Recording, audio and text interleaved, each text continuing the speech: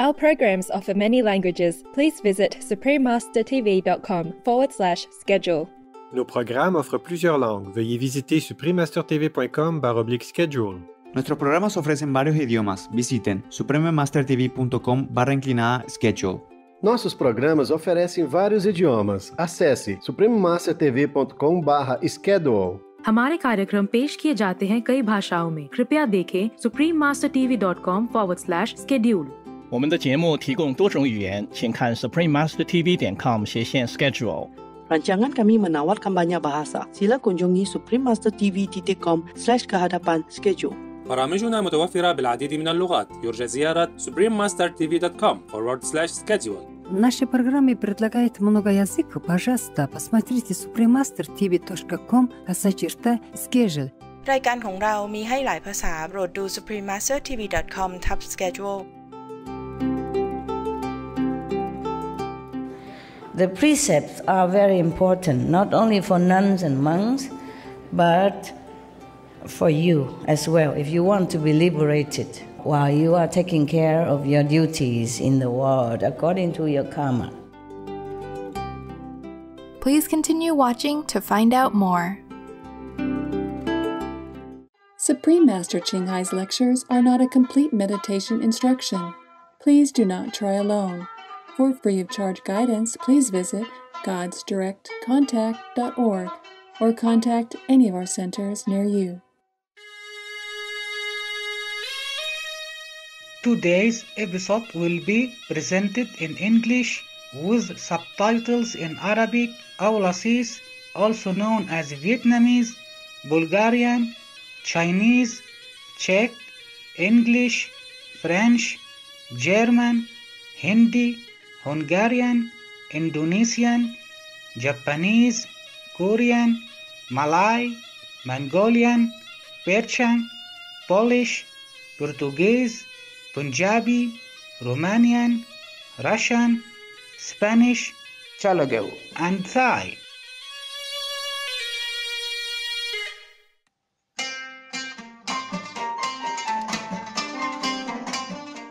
تحيات مبهجة مشاهدينا محبي السلام. اسمي ناش الشعب التونسي المحب يصلي أن يبقى الله دائما بجانبكم.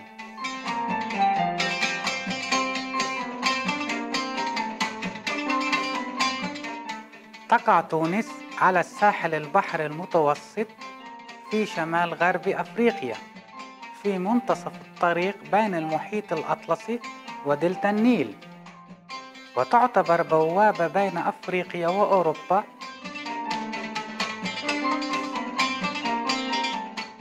تحتضن تونس تراث ثقافيا غنيا يعود تاريخه إلى 3000 سنة. من الحضارات القديمة متضمن تنوعا من الثقافات الأوروبية والمتوسطية والإسلامية والبدوية.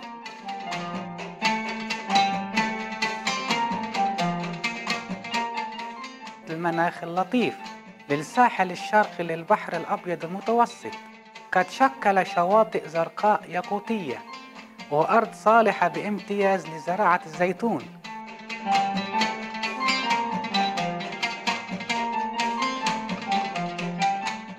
تحتل تونس مرتبة ضمن العشرة الأوائل في إنتاج زيت الزيتون في العالم. ومن الرائع إنها تستخدم طرق تقليدية قديمة لإنتاج الزيت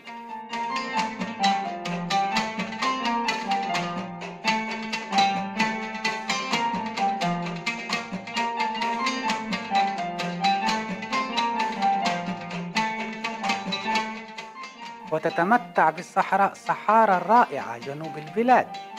هناك يفتن الزوار بالمشاهد المذهلة للكثبان الرملية التي تنحتها الرياح. وغروب الشمس الصحراوي الذهبي والليالي المليئة بالنجوم الخاطفة للأنفاس. ربما أعظم سحر في تونس آت من شعبها التونسيون أنقياء ويملأهم الشغف يحترمون التقاليد يستمتعون بالحياة ولا يعكر صفوهم صخب وضجيج محيطهم. هنا حيث يمكن للجميع العثور على سعادتهم الخاصة. يسرنا أن نقدم لكم لمحة موجزة عن تونس ساحرة القلوب مشاهدينا الطيبون. نحن نصلي لكي تتحقق رؤياكم وأحلامكم الرائعة.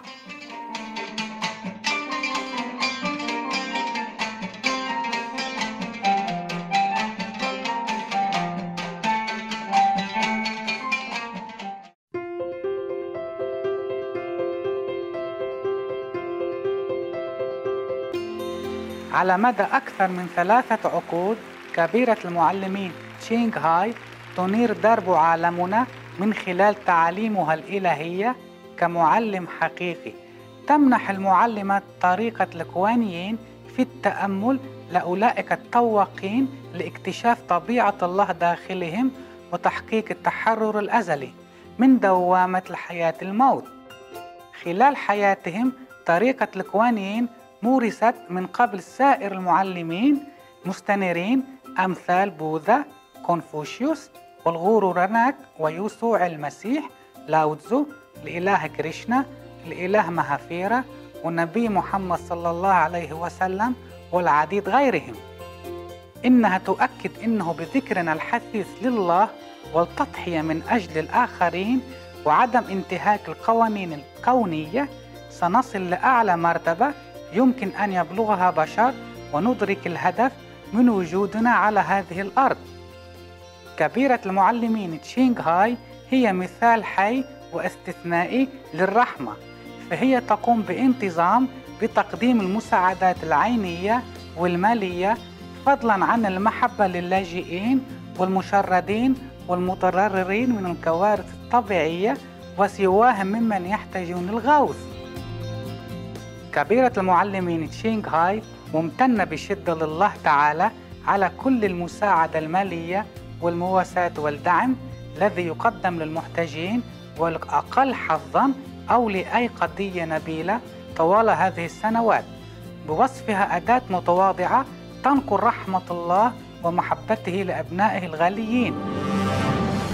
كبيرة المعلمين تشينغ هاي تتلقى الدعم والمحبة من مختلف المنظمات ووسائل الإعلام والحكومات والأفراد فضلا عن العديد من الجوائز منها.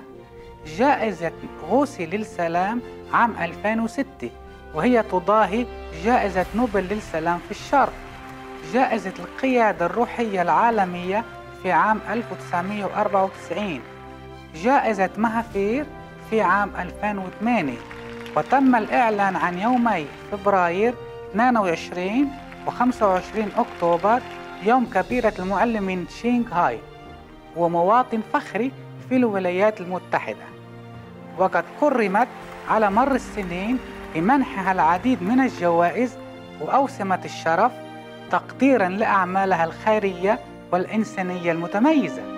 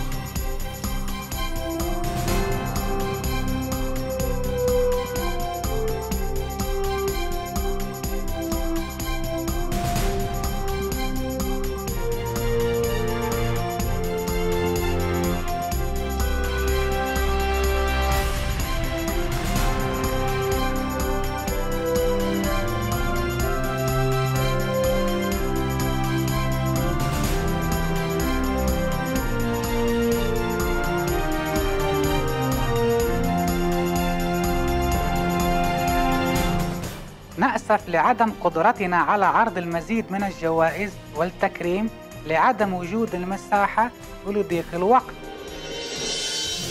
وكصوت حقيقي يدافع عن أصدقائنا الحيوانات الجميلة كبيرة المعلمين تشينغهاي تشجع على إتباع النظام الغذائي النباتي المفعم بالمحبة والسلام الذي من شأنه إيقاظ الوعي الإنساني لمدى قدسية الحياة بكافة أشكالها. وصولا إلى عالم مجيد تعمه النباتية ويسوده التناغم حيث الحيوانات والبشر يعيشون في وئام. إن مبادراتها لنشر النهج النباتي متنوعة وتشمل توزيع نشرات العيش البديل وسلسلة المطاعم النباتية الدولية لافينغ هات شركات المنتجات الغذائية النباتية شركات الفراء النباتية وتلفزيون كبيرة المعلمين. بالإضافة إلى مكالمة الحكومات وكبريات وسائل الإعلام والمشاركة في مؤتمرات عبر الدائرة التلفزيونية مغلقة بشأن تغير المناخ. علمنا بذلك أم لم نعلم؟ إن لجهودها تأثير هائل على الوعي العالمي فيما يخص الإحسان للحيوانات وكيف أن نمط الحياة هذا يمكن أن يحقق السلام الدائم بين الدول إضافة لإنقاذ كوكبنا من أثار تغير المناخ والكوارث. على مر السنين جابت كبيرة المعلمين تشينغهاي العالم من الأمريكيتين إلى أفريقيا ومن أوروبا إلى أوقيانوسيا وألقت مئات المحاضرات أمام الجمهور وتلاميذها. متناولة باقة متنوع من المواضيع الروحية. يشرفنا اليوم أن نقدم واحدة من هذه المحاضرات العميقة بعنوان سورانجاما سوترا التعليمات الأربعة الواضحة غير القابلة للتغيير عن النقاء الخاتمة وتأسيس مكان الصحوة لجزء واحد من ثمانية ضمن سلسلة بين المعلمة والتلاميذ مقدمة باللغة الإنجليزية في 24 ديسمبر 2018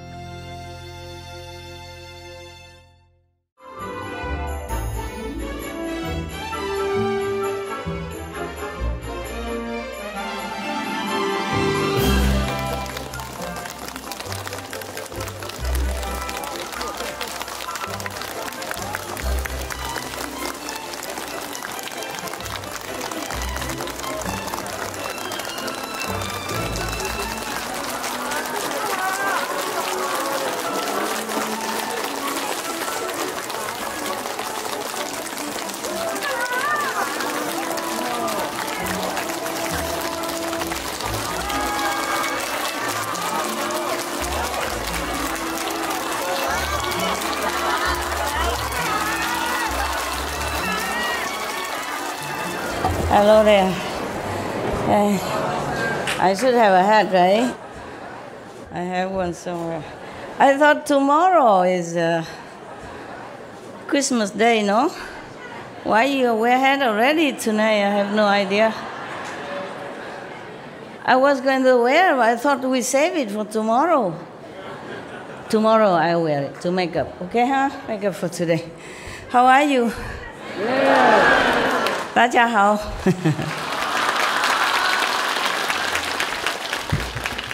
今天已经圣诞节了吗？Is it already Christmas today? Huh? No, huh? After midnight, right?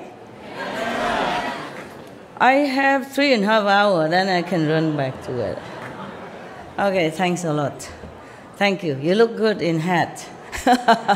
My God, the Taiwanese they really can. Did they tell you to bring, or they just give it you here? Wow, how can they buy oh, 10,000 hats in one day? More than 10,000 perhaps. Oh, incredible, incredible, incredible. Wow, wow, wow. All these are nuns? Wow. Omitofo. Hare Krishna. you are monk, you can sit up here, love. Monk, missionary, you can come up, sit here. Yeah, are you a missionary? No, then you sit there. Only for monks and nuns. Just to respect their wish to be alone. You can sit on there, it's softer and warmer. You left everything at home. At least you can have a little comfortable here. If it's you, you would want to be comfortable. So just make them comfortable as you are. You should do everything just the way you, you would like it for yourself. It's so simple, my God. Huh? Uh, if you're uncomfy, you can also come up and sit a little bit higher. Uh, if you have a cushion, it's good.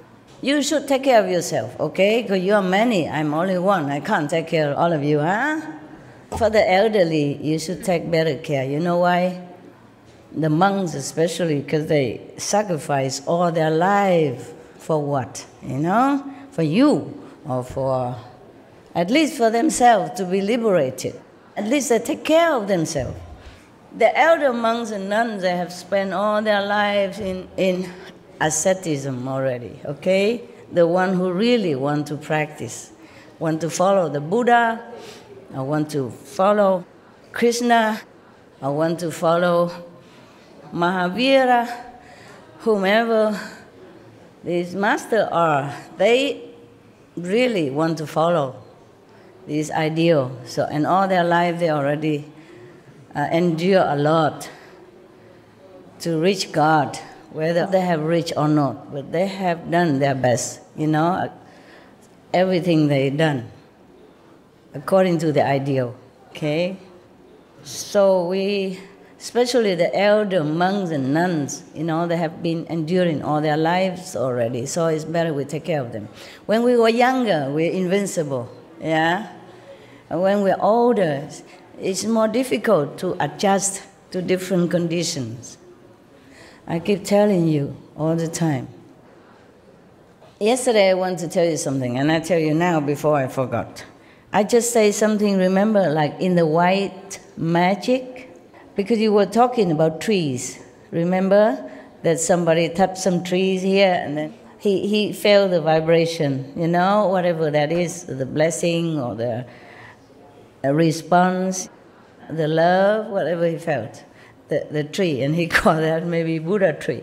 Yeah, all the trees are Buddha's tree, or magic trees. If you have respect for them, they respond, and they help you also. Yes. I remember some other people come and talk to the trees and all that, and have a wishing uh, come true, their wish come true, and stuff like that, because remember last time I told you the, the story about the kusha grass uh, gods. Yeah, there was Shakyamuni Buddha, uh, one of his uh, reincarnation. You were not there. Oh, you forgot already. All right, so simple. Every grass, you know, like big, uh, maybe a group of grass, every tree has spirit of some kind that dwell in it. Yeah, take care of the tree, or that is their dwelling place they are assigned to stay there, and that's their home. Yes, and they do bless the surrounding as their job. Just like uh, police or something, he's assigned to some special station and give him a motorcycle, something like that to work with. Now, trees, they do have their magical power, their healing power, loving power, and they do help you with advices and all that even, but you, the deaf, don't hear nothing, see nothing. Yeah. So one of your brothers touched one or a tree and then he felt something from the tree. Now you know what I'm saying is true. Yeah, you heard it yesterday, right? Now you know, at least you, the one who experiences, know that what I told you is the truth. I tell you the truth all the time. But at least that in that aspect, you know one truth, okay? We sometimes don't believe the Master until, until we experience it ourselves. Never mind, I'm very patient, okay? Very, very, very patient. I wait for you eternally until you know it yourself. Now, the trees and the uh, grass and the plants, they all have their blessing power. I even told you that in Cancun. All right, so now, in the white magic kind of uh, practice, people even advise you, you know, like you make friend with one tree that you like, and then if you are sick or you have problem, you just come and hug the tree or tell the tree your problem, and, and then promise you come back again to visit, and then you will get better. Yeah. Please don't hug all my trees because too many of you, the tree is already feeling scared. because everybody hug, them, the tree will become like their skin will get uh, uh, worn out. Let them be, okay, huh? No touchy feely, huh? you are saying already you should bless the trees, not vice versa. Shameless. Ah, I'm just telling you, this is a, some kind of white magic that people practice like that. Okay? Yeah. Uh, there, of course, there are many other ways to practice. It's just because yesterday you talked about the tree, so I want to mention that to you as well. Huh? Mm. Okay, now, where were we yesterday? Yesterday, yes, yeah, okay. The precepts are very important, not only for nuns and monks, but for you as well. If you want to be liberated while you are taking care of your duties in the world according to your karma. Yeah, not everyone can be nuns and monks. Of course, it's a very difficult uh, undertaking. Hmm? It's very difficult. It needs a lot of discipline, a lot of training yourself, a lot of self introspecting, a lot of sacrifice, yeah, for personal taste, personal freedom, uh, everything, many things, many things. Yesterday, when I given you some cookies or crackers, I say if you're hungry at night, maybe you shouldn't eat a lot but you can eat a little bit of this to, to calm your stomach. I was talking to the nuns and the monks, and then one of you said, I'm hungry, master, hungry, master. you always hungry when you see my cakes or my so called blessed food. I was talking to the monks and nuns in case, because the monks and nuns sometimes they don't eat in the evening. So I thought, okay, in case it's cold here and your time change, and if you're really hungry, eat some a little bit of this exception. I was talking to these people, not you. Because you can always go kitchen anytime, after midnight, before midnight, uh, and then take something to eat. The monks and nuns, they mostly they don't do that. Maybe because they don't eat in the evening. Maybe because they keep the dignity. I was worried the monks and nuns because of time change from their country here, you know, and maybe here midnight is, is there, midday over there, or before midday, so they, if they're hungry, they could eat a little bit to calm themselves, and then they meditate to erase that, whatever supposed to have, if karma. So yesterday, the Buddha have pleaded with the Bodhisattva and Ananda and all these people, saying that you should use your power of transformation and appear to the world in the form of uh, people, in the form, form of lay person, minister, kings, uh, virgin youth, maidens, and so forth, even prostitutes, widows, profligates, thieves, butchers, or dealers in contraband, and doing the same job like they are doing in order to uh, lead them to, uh, to the righteous place, and the teaching of the saints. But these people, you know, like the Bodhisattva or the monks, even though they appear thus, to work the same as other people, lowlier people or unenlightened people, but they should never say of themselves, like, I am truly a bodhisattva, or I am truly an arhat, or let the Buddha's secret cause leak out by speaking casually to those who have not yet studied. What does that mean? Meaning, suppose you already initiated, yeah, you have all the instruction given to you how to meditate, yeah, and recite the five names and what to do, uh, etc., etc. You should never tell that to other people who are not yet acquainted with the teaching and who not even know what the five names of meditation. Of course, as I told you eh, at the time of initiation, you keep all that to yourself. Same here, same here. Otherwise, if it's not, then why the Buddha say that?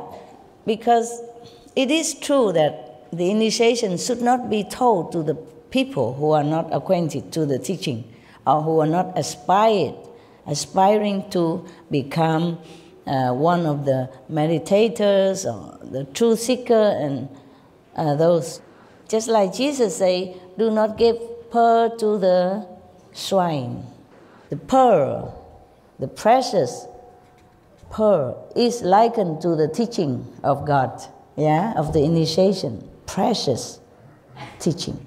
We should not just go out and just say anything about that when they're not ready. Then the Buddha continued, how can people who made such claims other than at the end of their lives, and then only to those who inherit the teaching, be doing anything but deluding and confusing living beings and indulging in a gross false claim? So Buddha warned us that we should never do that. Maybe at the end of their lives, and then only to those who are already in the path, you know, who inherited the teaching. That's what the Buddha meant. Those who already know the path, already know the initiation process.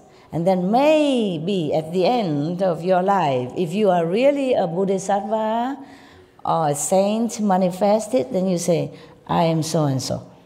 Now, uh, there was one uh, guru in India, the Sikh guru. I don't remember the third or the fifth, you know, one of, of the ten, one of the ten Sikh gurus. He was very old already, 70 something. but he has been, uh, he know nothing about um, practice of meditation until one day he met uh, one of his acquaintance or family members uh, was uh, reciting something uh, some of the teaching. And then uh, he overheard it and he asked her, What is that uh, that you are reciting? So the, um, the, his uh, you know, acquainted tell him, Oh, this is a teaching of Guru so and so, one of the Sikh Guru before. And then he said, What is a guru? she said, You don't know guru? You have no guru? Then don't come near me. In India, uh, I don't know now, but before, if you have no guru at all, you don't have master teach you anything, then you are just a nobody. They don't let you in the kitchen because it might be contaminated, contaminated their, their food. Even the shadow, your shadow, if you have no guru, no master who teach you, I mean, real master teach you anything, they don't let even your shadow fall into their food or in their house or their kitchen like that. They worry that your impurity, your karma, which have not been cleansed by the master power, by the initiation uh, process, uh, even your shadow will contaminate their energy of the houses or of the kitchen. The people who are not initiated never allow in the kitchen in any case. That bad. In Vietnam, we also say if somebody has no religion, yeah, no religious belief, they say, oh, you are the non, the atheist, you know, the non-believer. that means very bad. I mean, kind of a degrading, you know, uh, uh, remark. Yeah, no respecting remark. Yes, because only the people who believe in karma, believe in bad and good, this is trustworthy according to the Vietnamese, okay, tradition. Because if somebody believe nothing, you know, don't worry about the bad consequences of his karma, of his uh, actions. That means he could do anything because he has no no uh, principle to up, to hold his action to be in a straight way or moral standard. Then he could harm you without even caring about the consequences. That's why people say if you're no religious or no believer, mean you're bad, untrustworthy, Uh, very scary people. That's what they meant. You understand? Yes. Because if you fear God, you fear karma, consequences, then of course you will always try to do good things. Because you worry about the consequences of bad karma. But if you don't know nothing, you don't believe nothing, no master teach you, no religious principle, then you do anything. You see, and then you don't worry. So how can you trust such a person? It's just like somebody in the society who don't care about the law, not worry about the police, or who don't care whatever happened, whatever he does. So he can just go to steal or maybe harming people without caring. is not trustworthy. That's what it is. So the Buddha say that whoever claim himself to be a bodhisattva, except at the end of their life, when they have to review themselves, if they really know they are bodhisattva, and they reveal themselves to those who already in the path, then it's okay. If not, then they are just deluding themselves and others. And that's a very bad uh, false claim, which is one of the greatest lies. Thus, when you teach people in the world to cultivate samadhi, they must also cease all lying.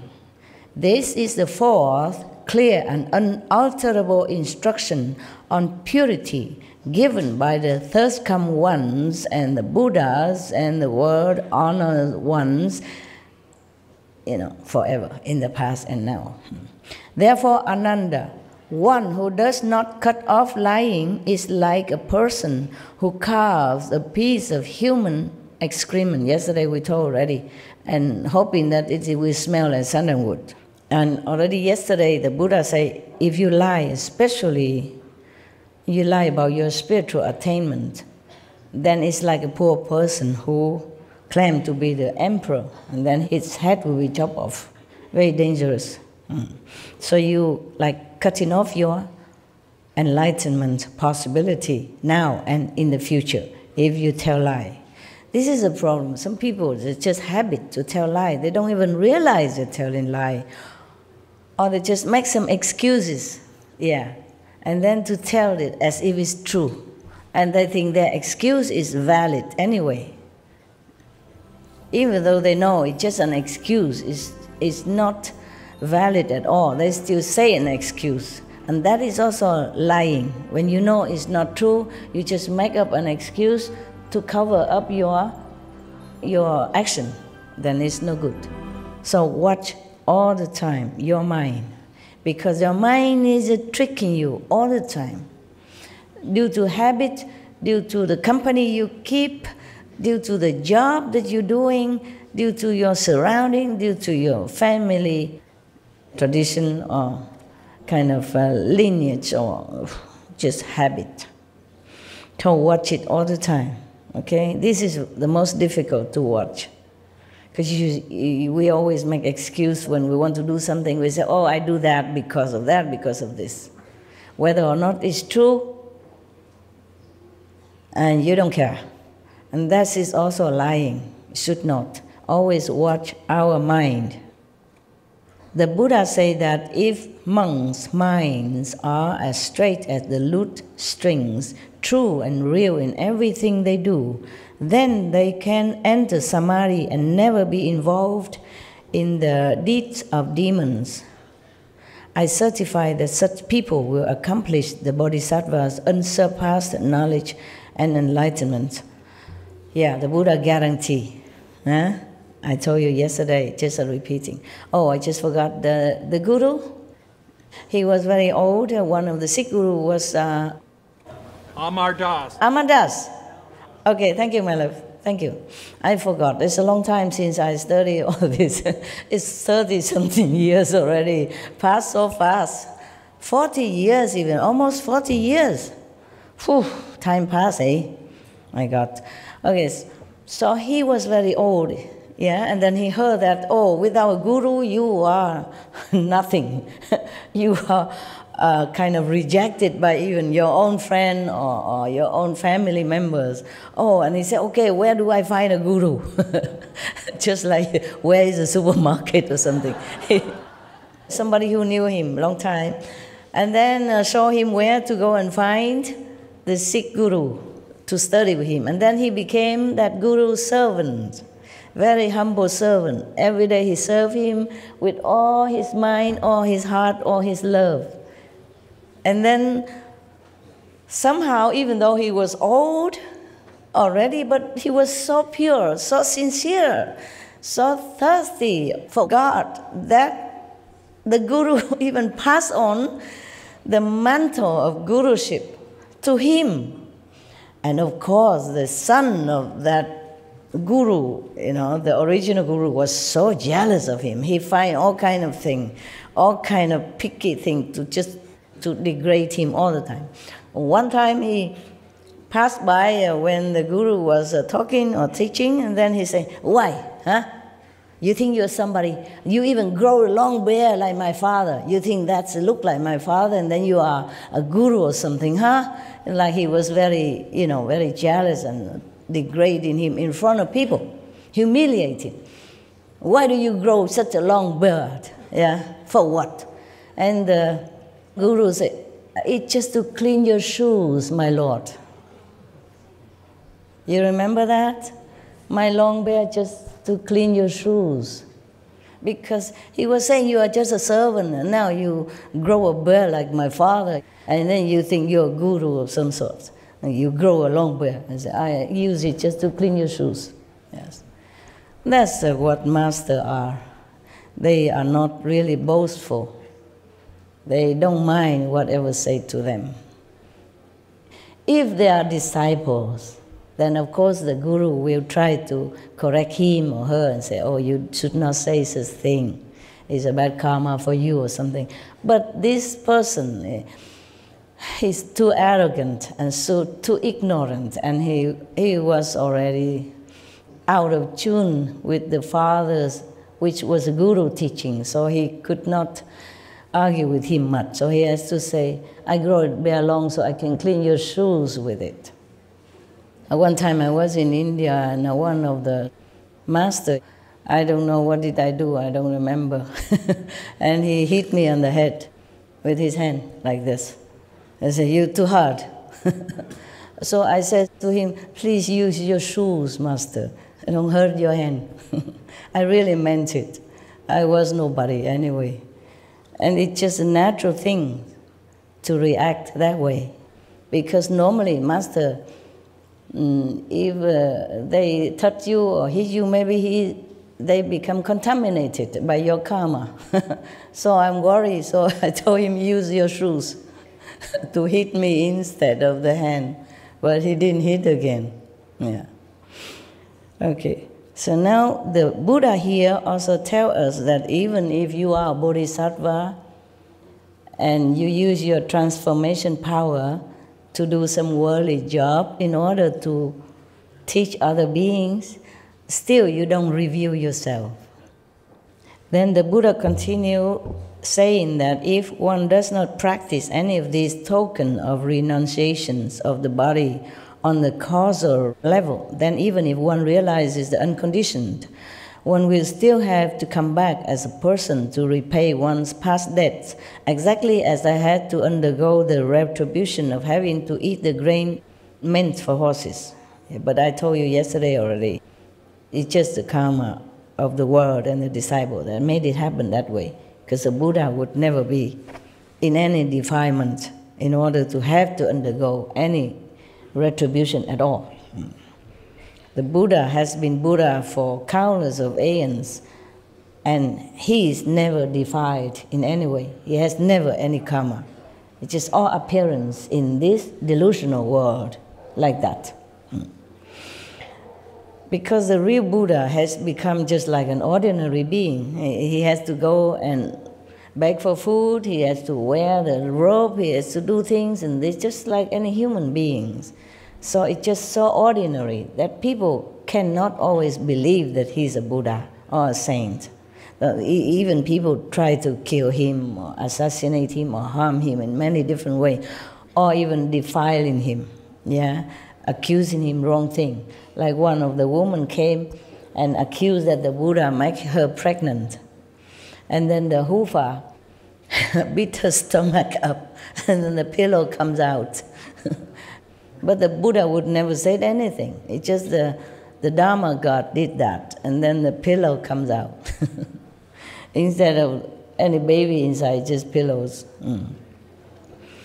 Yeah, the Buddha has never harmed anyone, you know, even in that lifetime.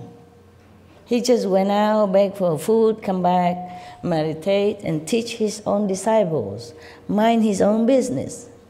And still somebody want to, how I say, humiliate him like that. Imagine, huh? He done nothing wrong. Mm? Yeah, but he says something like, You don't wear leather, you don't wear silk, you don't drink milk, you don't eat butter. Oh, of course, it probably harms some business. Yeah? And some of these uh, business people probably get angry with him and want to show him up. Yeah, like that. So it is very difficult to be in a position of spiritual teacher. There's always some trouble waiting for you somewhere. There's always somebody who don't like you, uh, even your own disciples. So yesterday we read all that already, so I skip it. Oh yeah, about the prostitute and everything, and butchers and everything already. Mm. Okay, Ananda, you ask about collecting one's thoughts. I have now begun to explain the wonderful method of cultivation for entrance into samadhi. Those who seek the bodhisattva way must first be as pure as glistening frost in keeping these four rules of deportment. If one is able to never give rise to anything superfluous, then the three evils of the mind and the four of the mouth will have no cause to come forth. So just keep your mind, keep control of your mind. Every time something bad arises, just cut it off. Think of something opposite, something more noble, something clean, moral. Because the, um, the mind is, is something, it's like, it's like a habit uh, computer, and it just keep coming out whatever it has received, you know, by the habit or by the surrounding, by the society, by the company you keep. So just keep, keep him in, in straight line, yeah, walk the line. before I forgot, we should really thank uh, the past masters, monks, and nuns, and scholars who have taken time to uh, record what the Buddha is teaching after the master nirvana, and also for the past and present person, lay or monks or nuns who have really dedicated themselves, sacrificed their time and precious health or under any difficult situation to translate this so that I can read it to you. And we have to thank them. And may they be blessed forever by all the Buddhas, past, present, and future. May their merit be immense. May they be liberated forever. Thank you.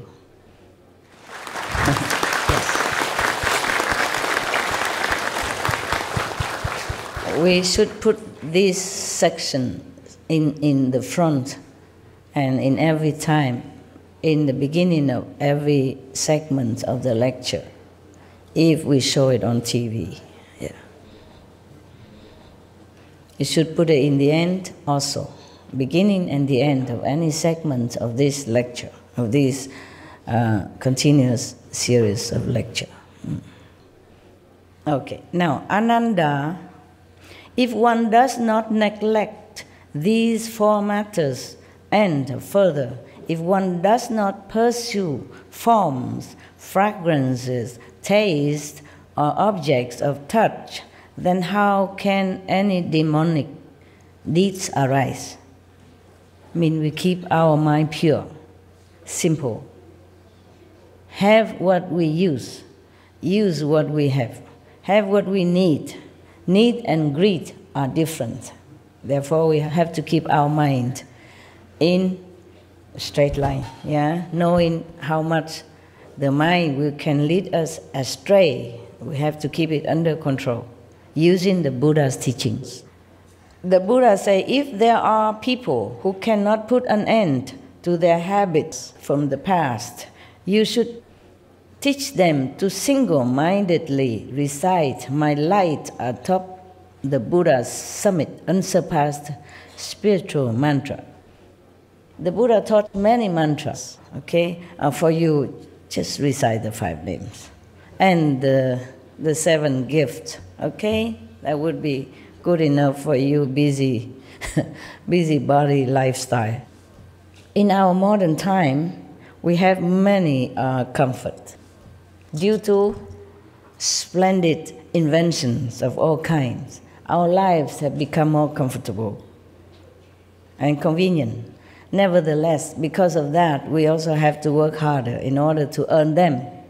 In the Buddha's time, it's easier to practice purity of mind, I think, yes, because you don't go too, too far anywhere. You just eat whatever inside your community that produced, yeah, and you just uh, interact with each other in, in your village, in your hometown mostly. Most people like that.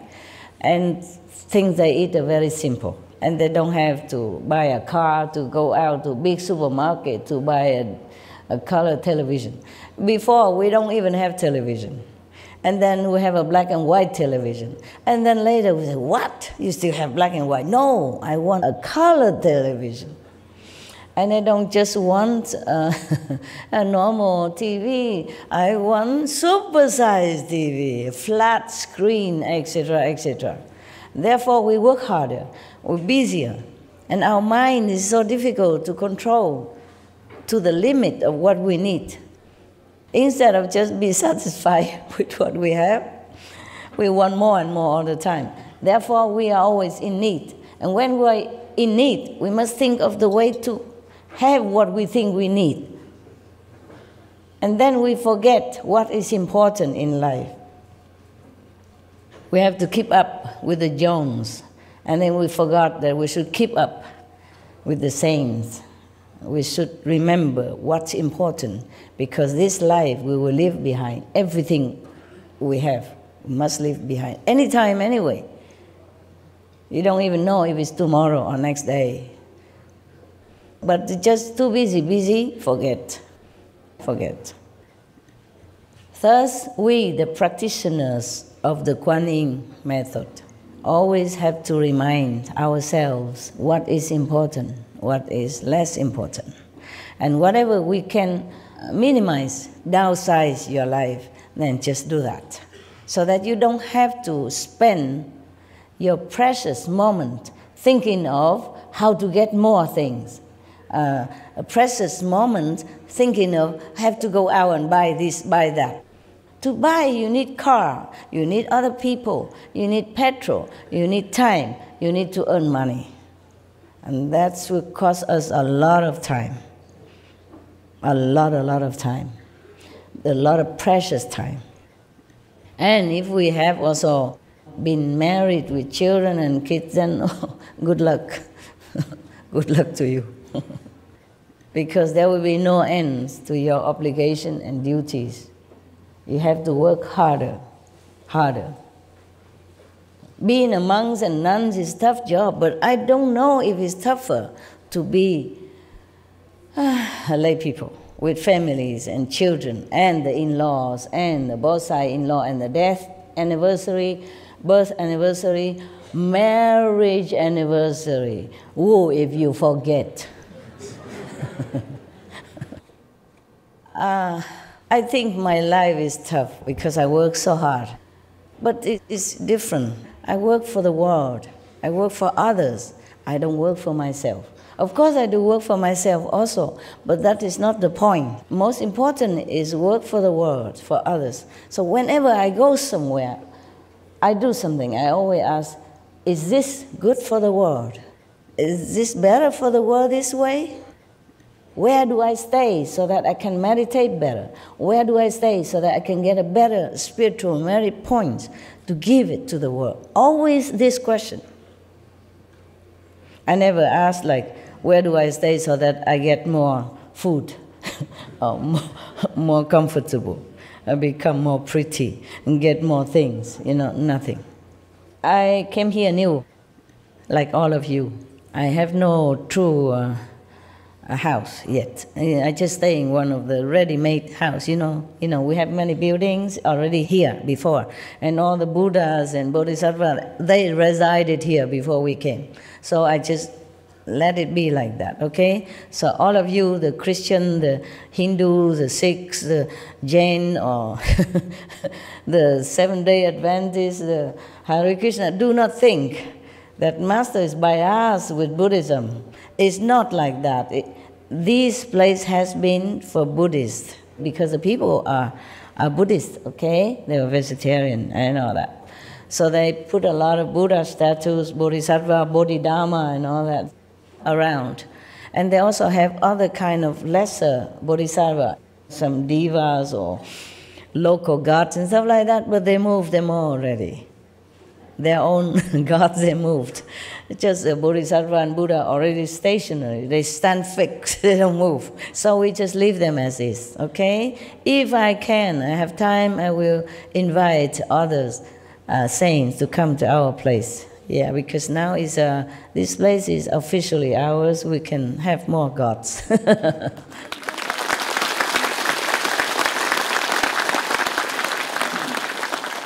So each of your gurus, your master, your original God, will have a chance to come and stay with us. Okay? Yes.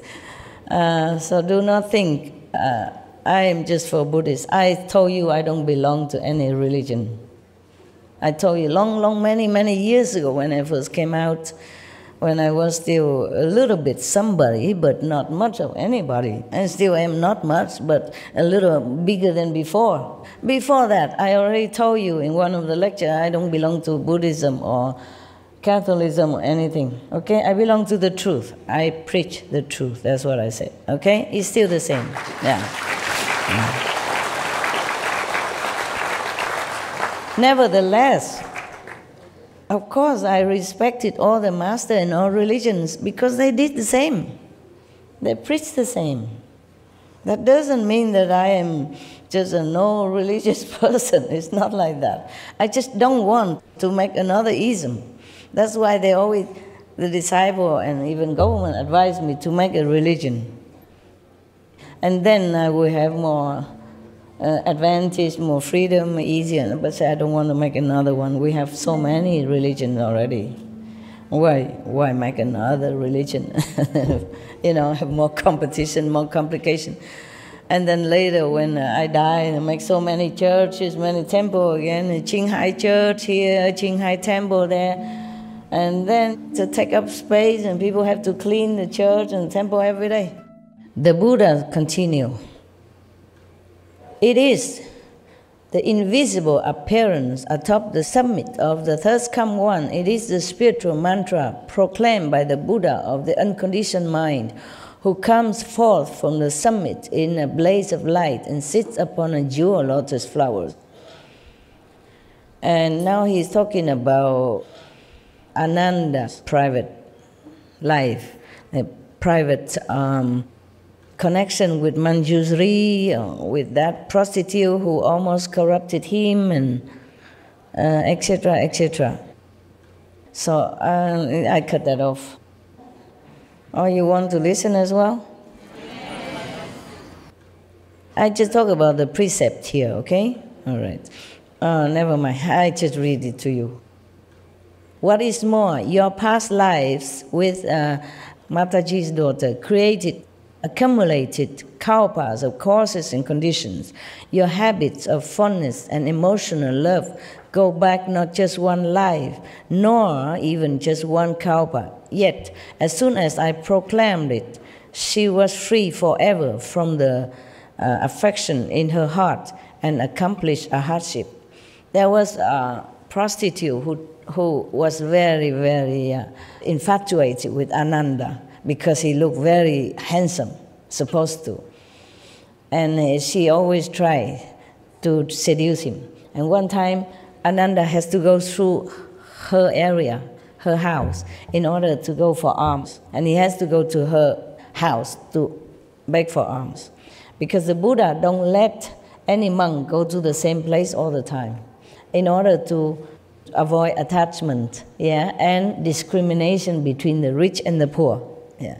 Because Ananda sometimes, uh, sometime before that, he always went to the, the poor people to beg for alms. Because he think like this he can give merit to the poor. Because the poor people need more merit than the rich. Therefore buddha said no you don't do that. You just go every house with the same love with the same blessing yeah you cannot discriminate and just bless just one type of people therefore uh, that day was Ananda's turn to go to different area, including the prostitute's house. And this prostitute, she has been waiting for a long time for Ananda. And now the Buddha explained why. They had affinity with each other in kalpas, aeons already, and has always have return and return like this. This life is the same. But after the Buddha has explained all this, she became arhat. She also became a nun and compete with Anand, who is more enlightened who faster to get enlightenment. that was like that. Uh, it doesn't say here, but just I, I know that from other sutra. Okay, yeah. There's something maybe that some of you don't know. Yeah. Why are you clapping? Because of the calendar talk? Because of my teaching. Oh, I just copied from the Buddha. yeah, because of your teachings, Master. All your information benefits us spiritually and physically in the world. Thank you so oh, much. Thank you, thank you. I just have to explain a little bit more so that you know the, the background of this situation, why the Buddha. Originally, I want to skip it, remember? Uh, this is his private thing and all that, but I thought, never mind, I just read it. I thought I would read it quick, quick, quick, quick, but then I remember this story, and then I begin talking. Ha, habit dies hard. Yeah, I just have to tell you what is what. Okay, then. Now, so she has accomplished Arhatship, hmm? this so called prostitute. Hmm. That prostitute, the Buddha continued, that prostitute who had no intention of cultivating, before. She met Anand. She always want to wait for Ananda to trap him. Mm. Uh, she was imperceptibly aided by that spiritual power and was swiftly certified to the position beyond learning. Oh, she's gone so fast into the spiritual elevation, yeah, beyond learning. I mean, she already too enlightened. These people no need to learn anymore. Yes. Then what about you, sound hearers in the assembly, who seek the most uh, supreme vehicle and are resolved to accomplish Buddhahood? He asked, question mark. For you, it should be as easy as tossing dust into a favorable wind. What then is the problem?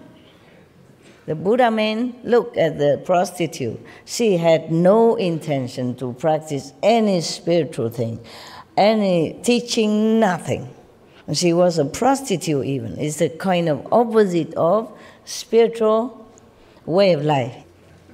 For example, like that, the people look down upon prostitutes, they think they are nothing, they have no moral, no understanding, no concept of a decent life in any country, people look down upon prostitute. Even in, in such a free country, where prostitution is like a, a professional job and is illegally practiced, still people do not think well of prostitute.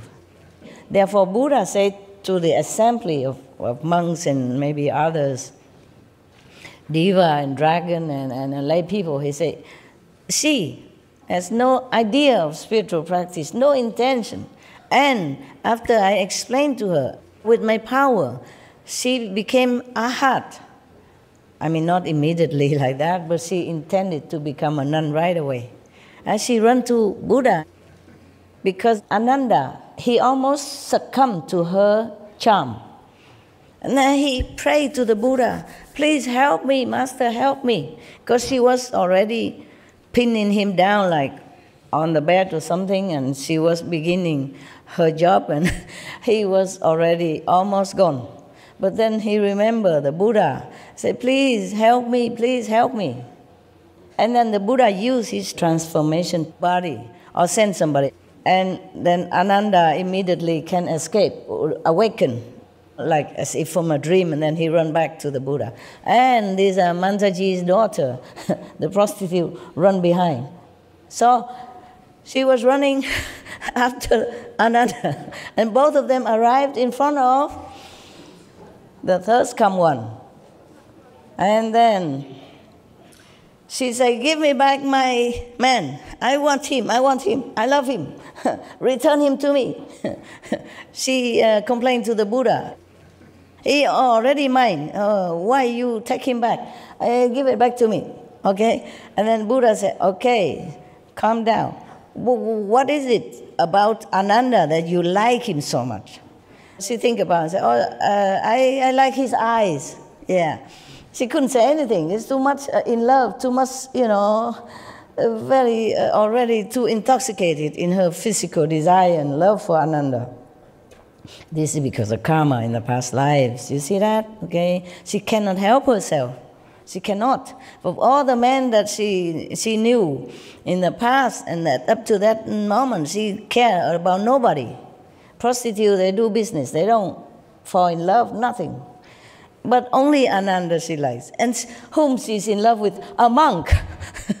That's the problem. So the, she, she said to, to the Buddha, I love Ananda's eyes.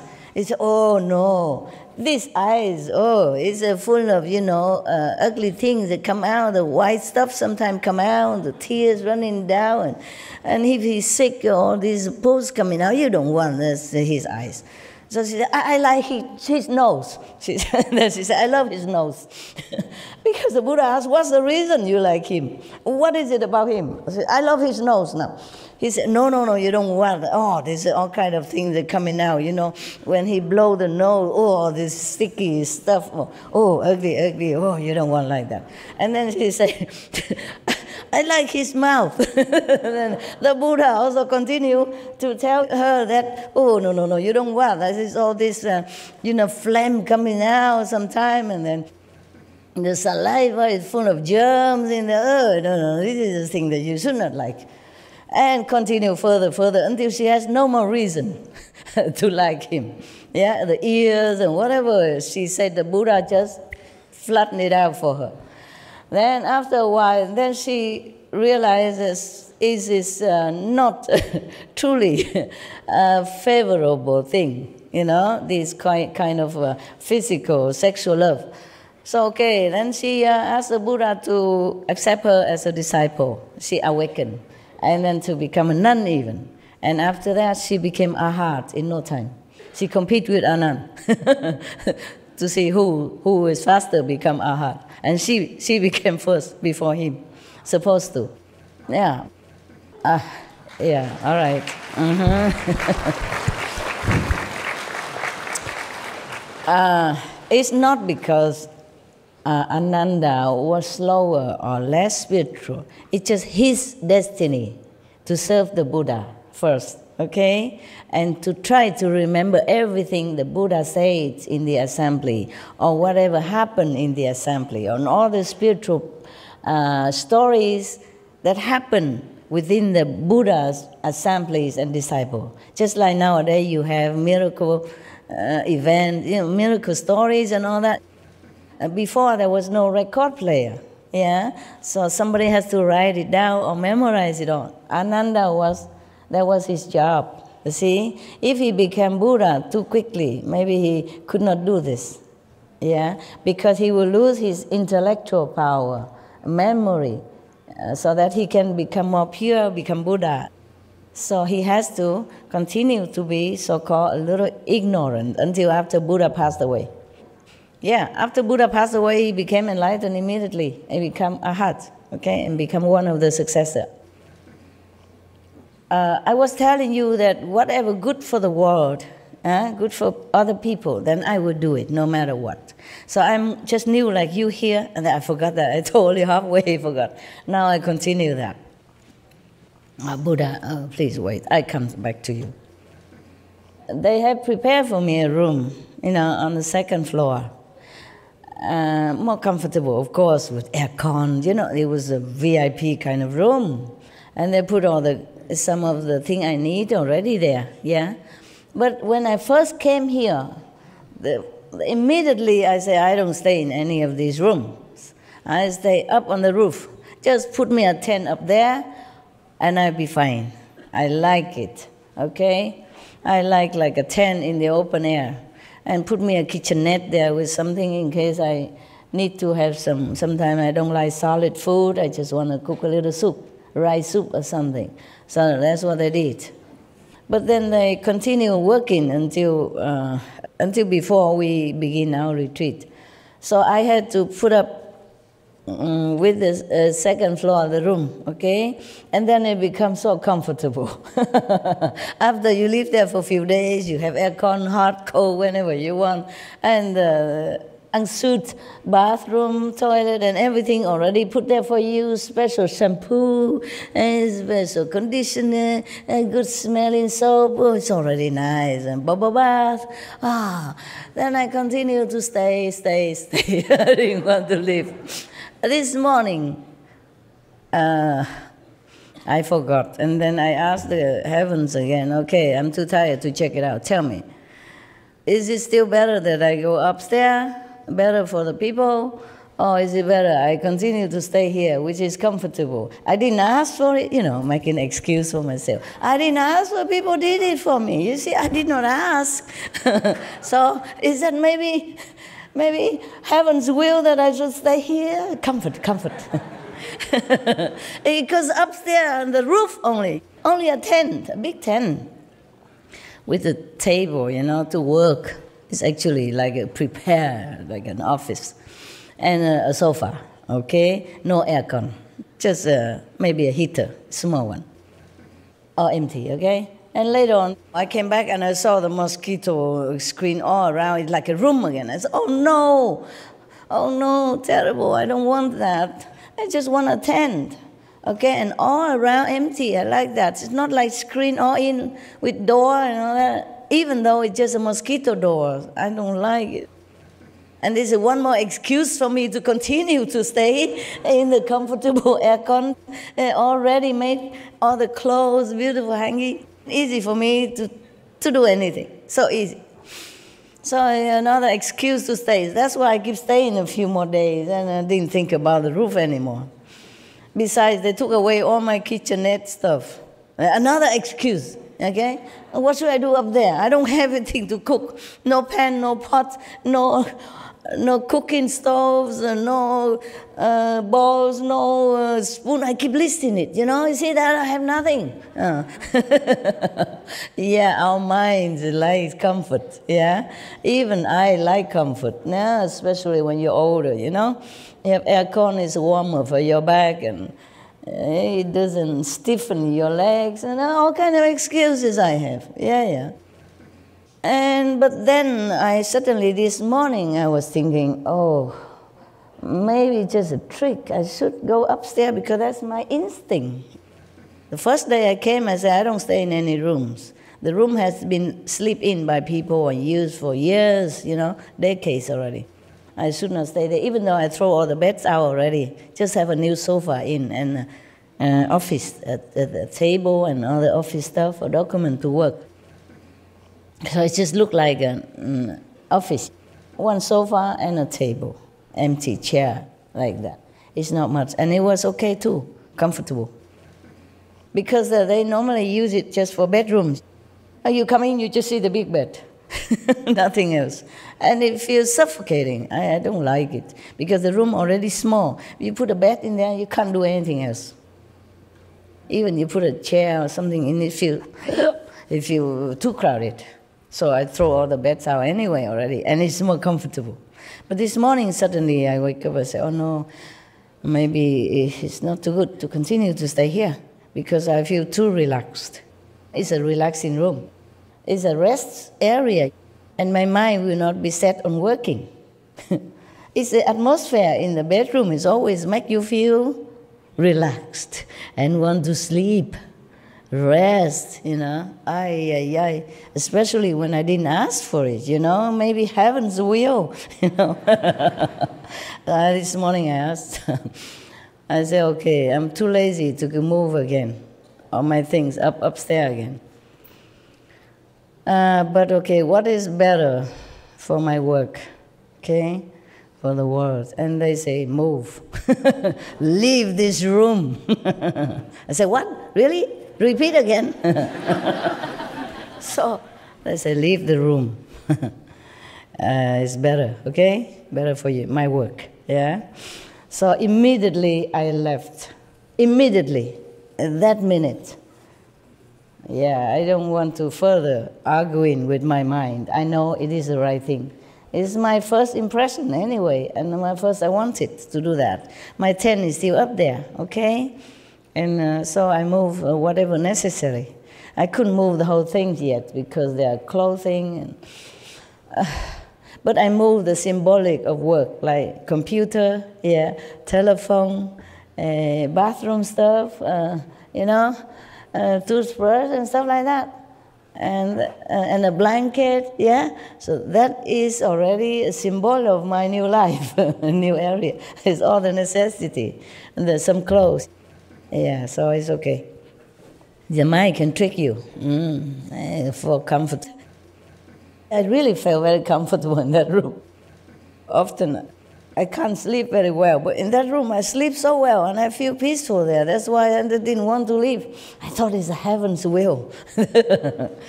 Blaming it on heaven. It's not true.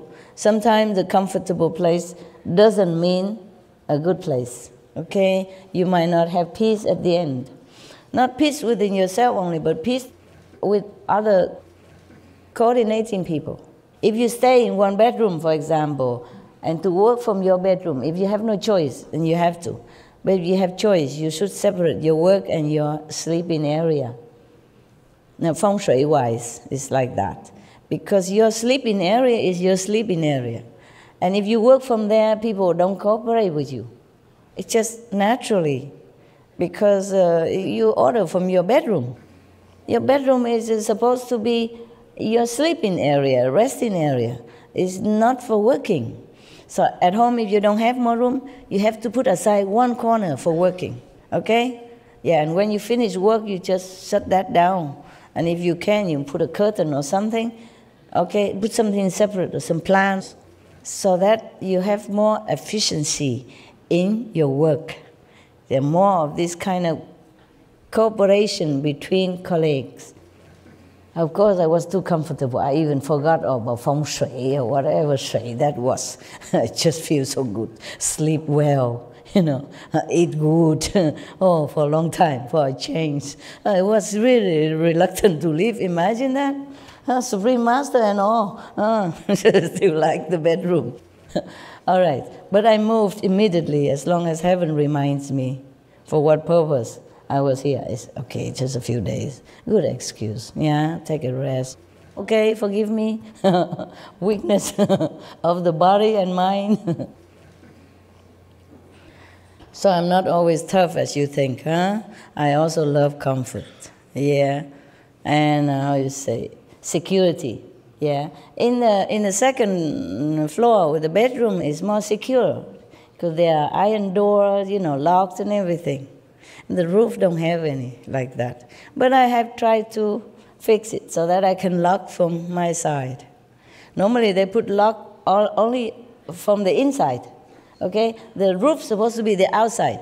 So every lock, every door is locked from inside, not on my side, the roof. So this uh, day I moved up and I've tried nail this and that and making some arrangement so that I can lock from my side, just so that I can feel a little bit psychological safety. I had to do that wherever I go, so that I feel peace of mind. Huh?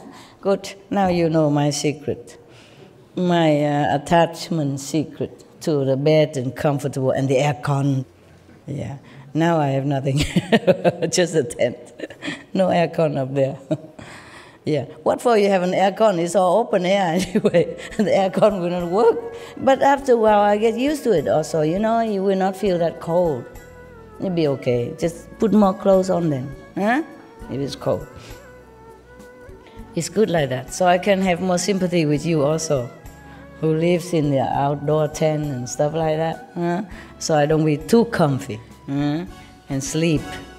So the Buddha say, mind that even if a prostitute who has no spiritual intention at all, never had any uh, connection with any spiritual teaching prior to meeting with Ananda at that time, still she can become a nun and attain a arhatship. That's big deal, A arhatship, very high. Bodhisattva. Therefore, how can you not? That's what he meant, okay? His assembly, yeah. And you also, of course.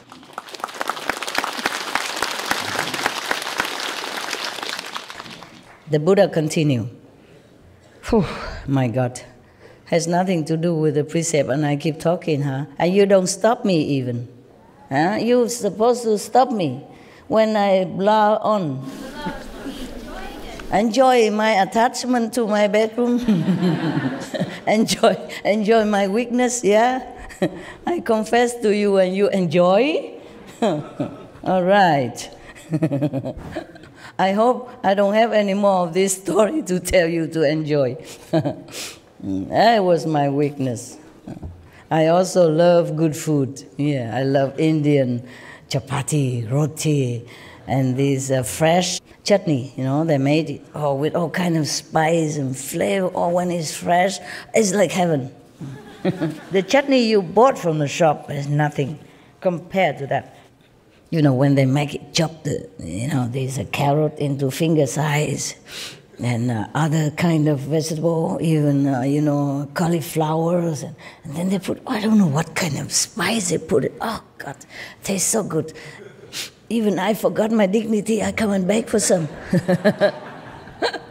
and they give me just a little bit because I prepare it for everybody. Uh, normally they wouldn't give it to you before is uh, everybody but they i don't know they feel i was too skinny too small. So they feel pity for me and the woman give me some. I never forget that taste because i was hungry and also it tastes so good. And fresh you know freshly prepared. It's not too sweet not too sour not too salty. It's just perfect. The indian woman they can make it. Oh man. And here even you make it here it's not the same Okay? They put all the love in it also because for their gurus and the disciples who came to their house. Oh, they make it so good. All right, all right. Mm.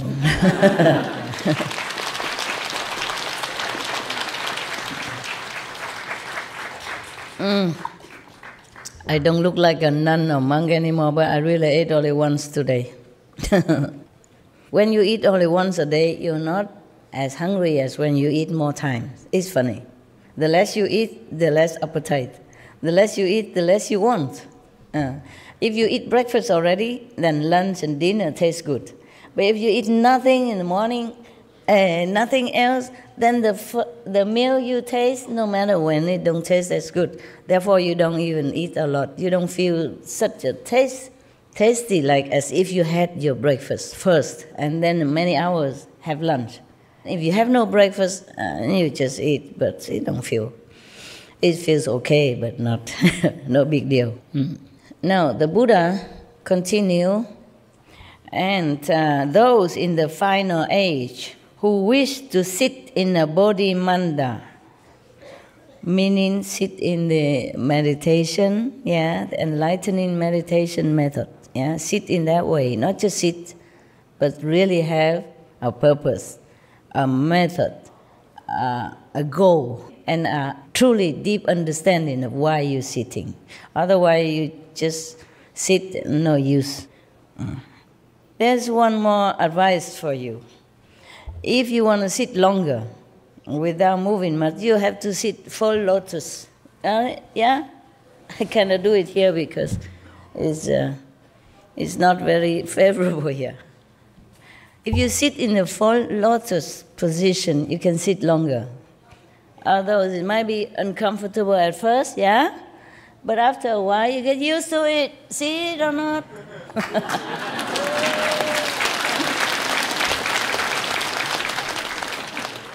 okay. I will take a photo or something in lotus position, and then you can have a look. You know, right? That both legs are crossed together. Yeah, it's a little hard at first, but you get used to it. Not because of sitting in lotus position you will become Buddha, not like that, but you're more stable. Huh?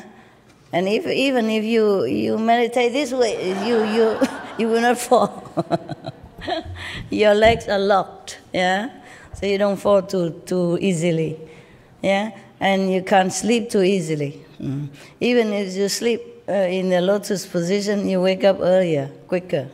All right, so that's just by the way. Yeah. So the Buddha say if uh, those in the final age, meaning what mean final age? Mean the age that the Buddha is not no longer there. Yeah. After a master passed away, 300 years or 500 year maximum. That is the final age of any teaching. If you don't see another master appear in that area in that era, this is final. Hmm? Okay. But luckily, we always have. It's just that it might not happen in that lineage. So you might think, oh, Buddha's gone forever. The teaching and the lineage of the spiritual power of any master is like a river. Sometimes it's hidden under the earth somewhere, and you thought this is the end of the river. No, no. It will seep out somewhere and then appear again. Huh? So it's just like that. Mm. Any of the religious people should look where the river reappear and do not be attached to a location of the original river. Because in all age, all religious branch, there will always be a master somewhere. And not be in the same lineage, not be in the same religious order, but there will be a master for the world. For our world, yes. And even in hell, there is a master called Ksitigarbha Bodhisattva. He will stay there forever. Because he vowed, before he became enlightened, he vowed that he will save all the people in hell. He vowed that he will stay there forever until the hell are empty. All hells are empty. Uh, he say, if all hell's not empty, he will not take on the Buddha's position or fruit he won't become Buddha if our hells are not empty. So he continued to stay in hell to teach the hell beings, whoever he can teach, whomever still has enough, a little bit of spiritual inclination, he teach them. And then slowly he bring others also to the understanding of the truth, and then continue further teaching, and then release their karma, or because of that, their karma will be lessened or cleansed, and then they can reincarnate as a human being or a deva or asura and then continue further. Yeah. That is Ksitigarbha Bodhisattva. Hmm. Oh, there are endless sutras in Buddhism I like very much. Maybe one day I will read you this Ksitigarbha Sutra. Yes. It's very interesting. He talked about. Uh,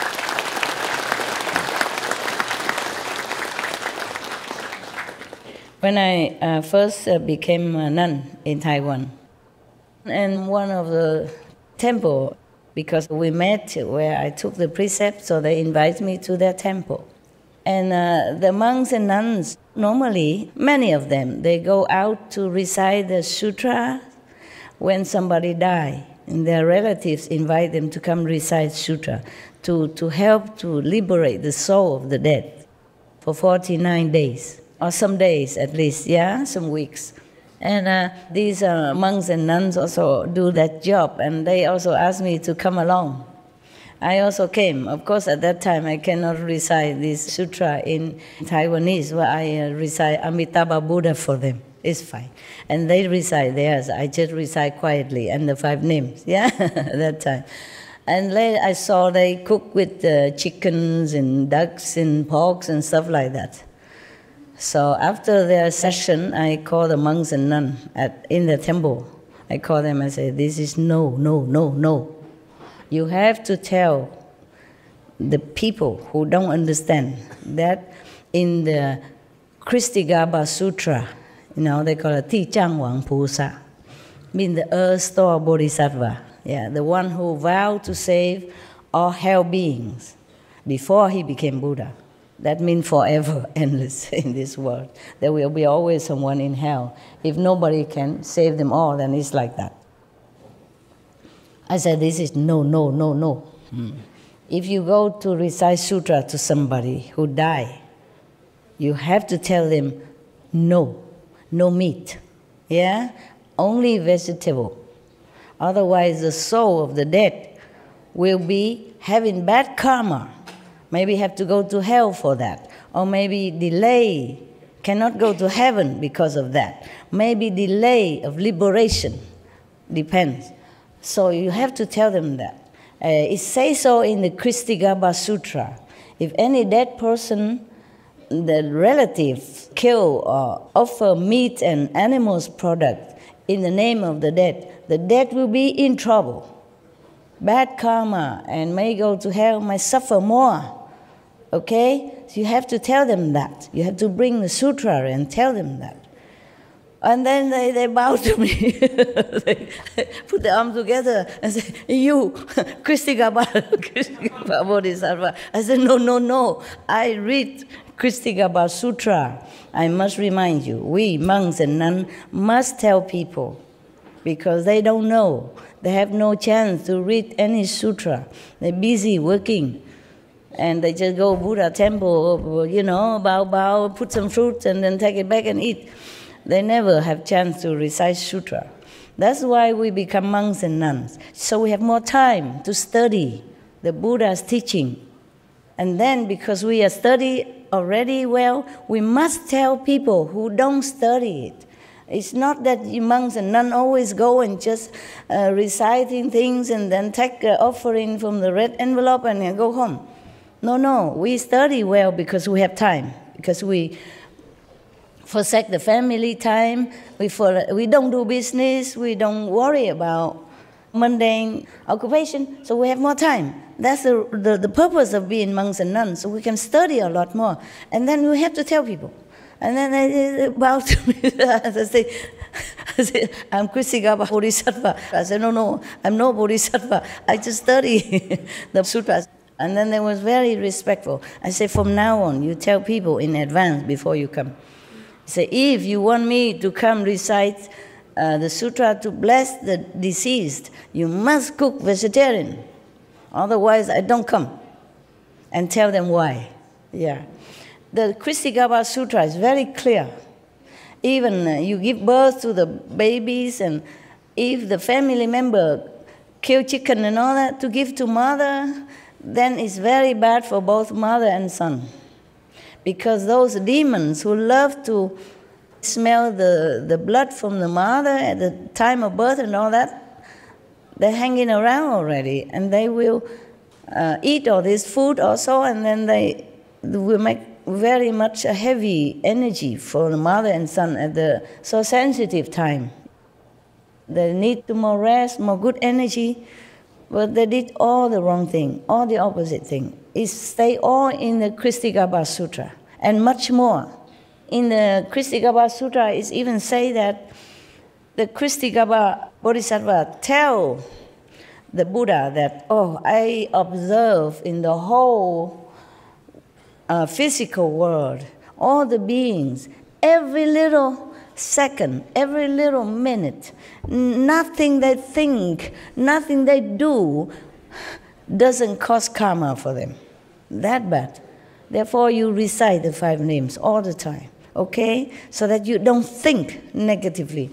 You don't have chance to act anything negatively. You protect yourself from attracting so that you don't attract negativity to you as well. And bless your surrounding with this holy energy that you brought forth with you from the initiation power.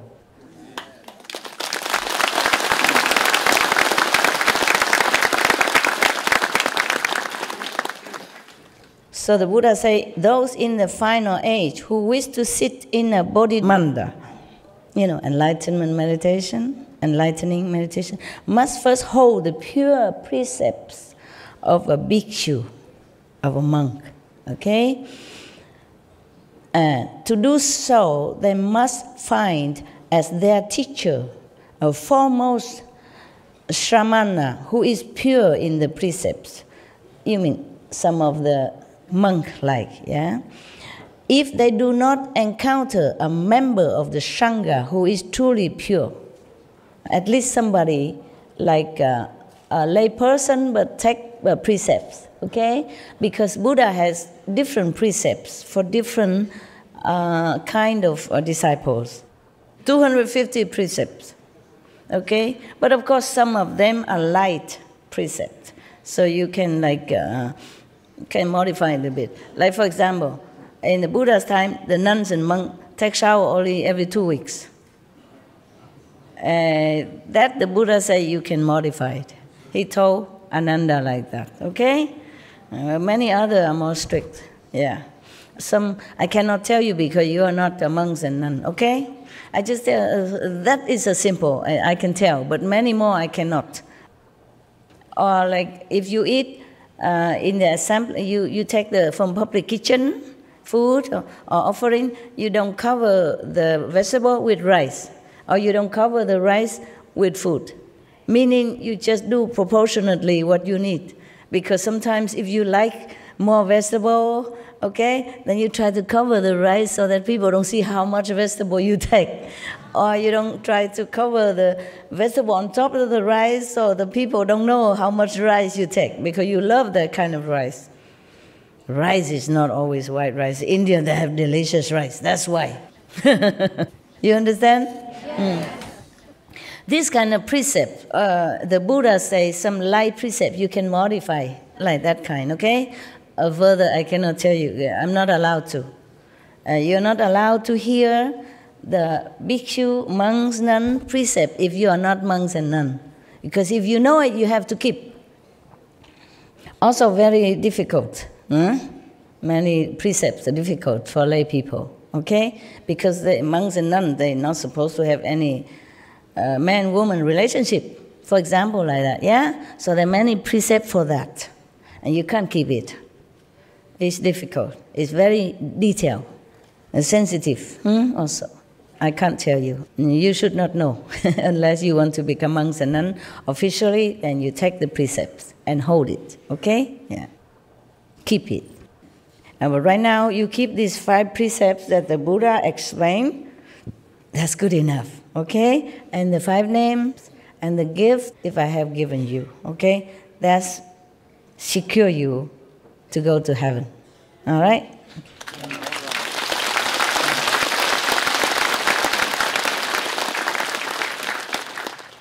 So the Buddha emphasized again, again, and again so the Buddha say, in the final age, mean when the Buddha already in nirvana, if anybody want to follow this kind of meditation, yeah, that he passed down to his uh, successor, then they have to find the, the, the teacher, a foremost shramana, is somebody lesser than monks, but keep the pure precepts. Like the monks and nuns, they have 250. And the one who take bodhisattva precept, maybe 10 precepts, yeah? But have to keep it very purely 100% pure. And the other normal five precepts. Therefore, the Buddha said you have to find somebody, foremost one, to keep the pure precept, like the 10 precepts. Okay? Uh, all um, the eight way of vegetarian, like last time I explained to you. Then that person can transmit the Dharma to you. Mm? Just like now, some of the residents can transmit the initiation to you while I am still alive, but don't have to be uh, present at the initiation place. And then the Buddha said, if they do not encounter a member of the Sangha who is truly pure, then it is absolutely certain that their deportment in precepts and rules cannot be accomplished. So that if you want to practice, for example, the Kuan method that the Buddha uh, transmitted, you have to find a pure monk or the pure bodhisattva layperson to transmit it to you. Otherwise, uh, it's uh, not uh, valid. It doesn't uh, help you, okay? It doesn't work. All right. Now, after accomplishing the precepts, they should put on fresh, clean clothes, light incense in a place where they are alone, and recite the spiritual mantra spoken by the Buddha of the mind 108 times. The one that the Buddha tell you. Actually, in many sutra, there are many uh, mantra uh, re- reciting by the Buddha. Okay. Hey, guy, you cannot see me very well, huh? Hmm. Some of you, huh? Yeah, poor thing. what to do? if I stand up, then the people behind don't see me.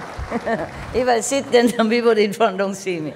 Yeah, this is the life we have here. Okay? it is not perfect. Yeah? But you are perfect. You will be perfect. And that's important.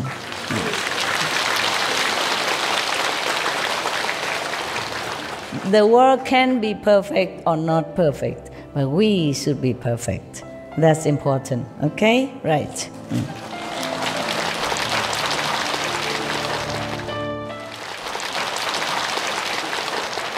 See, the Buddha always emphasized the precepts. Again, here he said, after accomplishing the precepts, they should put on fresh, clean clothes, light incense, and recite the spiritual mantra spoken by the Buddha 108 times. Why is that? It's just one of those number, okay? 108 times so that you don't forget.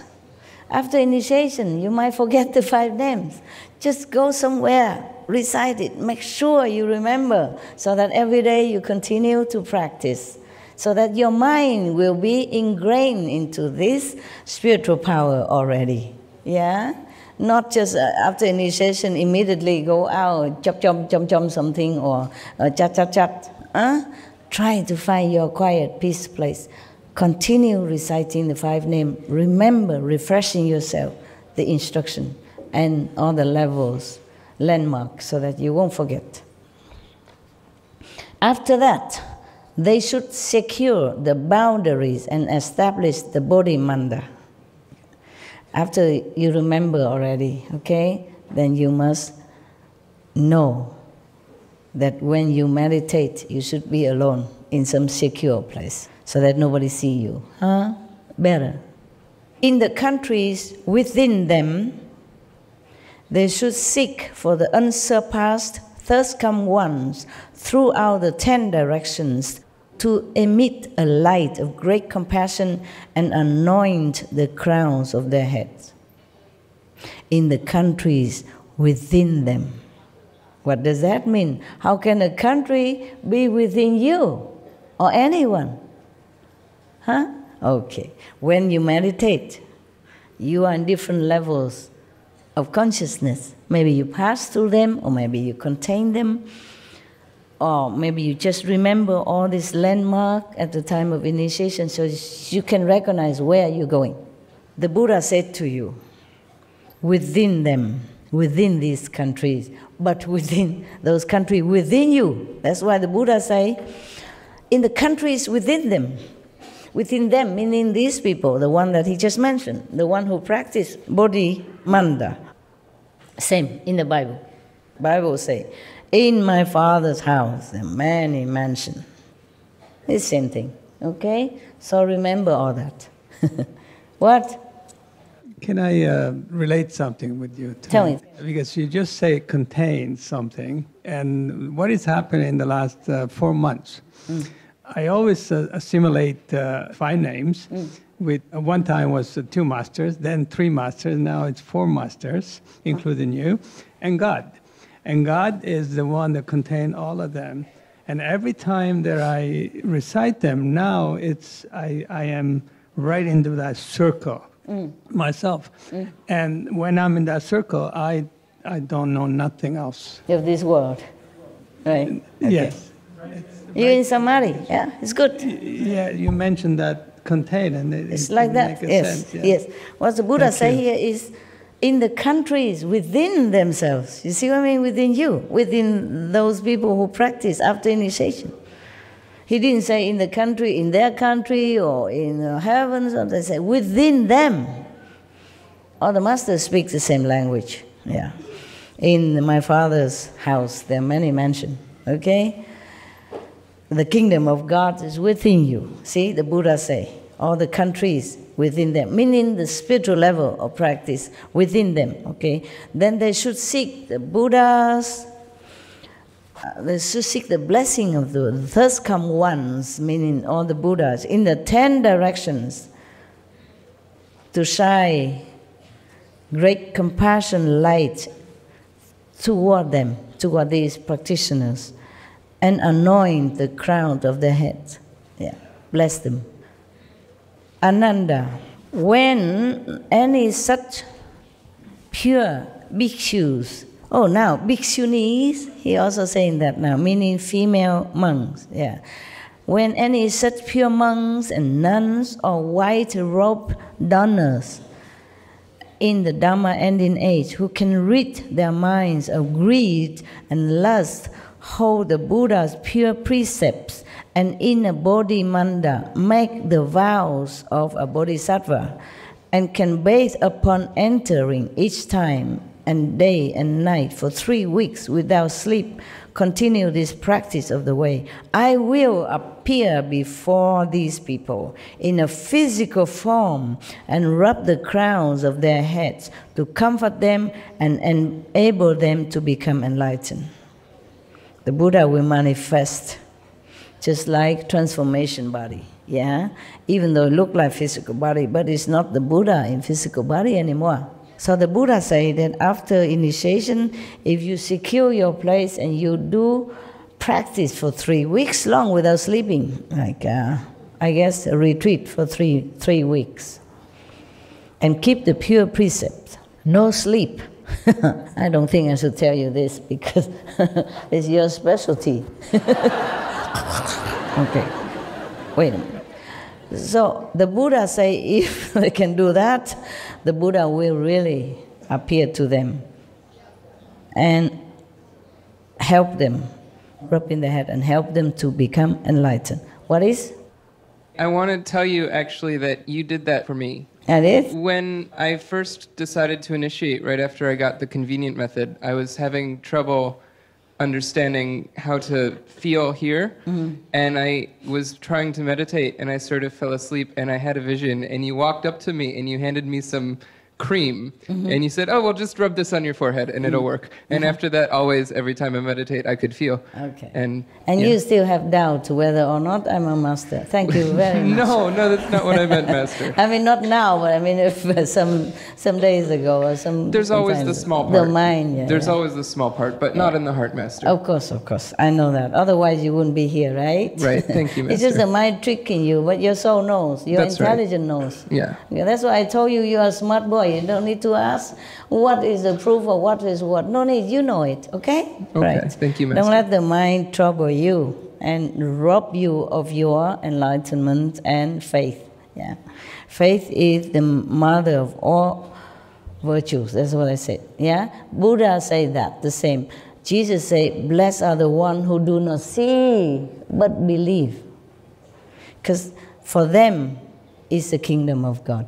Because they're pure, you know? Maybe their karma blind them not to see vision or light for that period of time, temporarily, but they believe in the master teaching. They still inherit the kingdom of God. They still go to heaven, okay? Yeah. All right, thank you for telling me that. You look fatter today. Did you eat a lot or something? no, I mean, your, your face are rounder, kind of more relaxed. Maybe it's your blessing, master. I don't know. But thank you. Yeah, I don't mean about eating, but your face look more round, you know, more lovely, yeah. More soft, soft. I, I meditated well last night. I Good, guess, good. Yeah. Yeah, you can see that. More restful. Very smooth, yeah, smooth. Face smooth. Energy smooth. Thank you. Congratulations. So, Buddha continued. Ananda said to the Buddha, now Ananda talk, World Honor One, enveloped in the Thus Come One's unsurpassed, compassionate instruction, my mind has already become enlightened.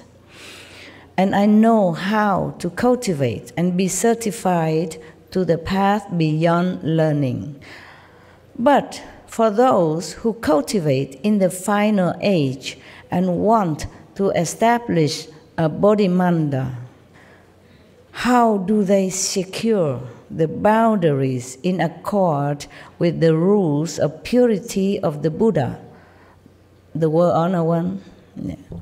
So the Buddha said to Ananda, if there are people in the Dharma ending age who wish to establish a bodhimanda, they should first find a powerful. Oh, this is a very long story. Mm. If you want to build yourself a bodhimanda, okay, the meditation retreat kind of place, yeah, secure, peaceful, so no disturbance, meaning you be away from your family and your job or your usual uh, surrounding. Then you have to build a place for yourself. The Buddha said here how, but I don't think you can, so I don't know if I skip it or not. I don't think you can do all this. you have to find a white ox who eat only grass in the Himalaya, for example. If it's not a white ox, it's not okay. If he doesn't eat the grass in the Himalaya, then his excrement will not be pure enough for you to use it, to mix with the earth and to make a platform and the wall for you. In the Himalaya, in the region of Himalaya, people use a cow dung, ox dung, to mix with the mud in order to um, to pasture their wall. Actually, they just use a pure cow dung to pasture around on the outside of the wall, and and then they meditate in there or they live in there. Mostly, it's for the meditator. They do that. Also, it. Um, uh, this kind of uh, very effective to prevent mosquitoes and insects to come in your house. Yeah? It's funny. It's like that. Huh? It's, it's antibacterial. Yes, and it's They- very safe. They do that on the floor before eating the food. Yeah, also, yes. They clean the house and all that, and then they plaster it with cow's dung. But it must be purer cow dung, okay? Because some, if the cow eating all kind of uh, not pure food or garbage outside, that might not be effective, at least psychologically or spiritually. Yeah, people use cow dungs a lot in India. They use it for cooking. Yes, they use it for the floor. For, huh? It's good internal as well. Yes, yes, yes. Any. Yes, some, Any. some people use it to cure their sickness. Yes, some people cut the cow dung fresh and consume it as well. This is for you, Westerner, and other people. It seems like uh, something you should not do, but that's what they do, and it really helps. Well, at least it helped them. I never tried, so I cannot guarantee to you. You can try and tell me. yeah.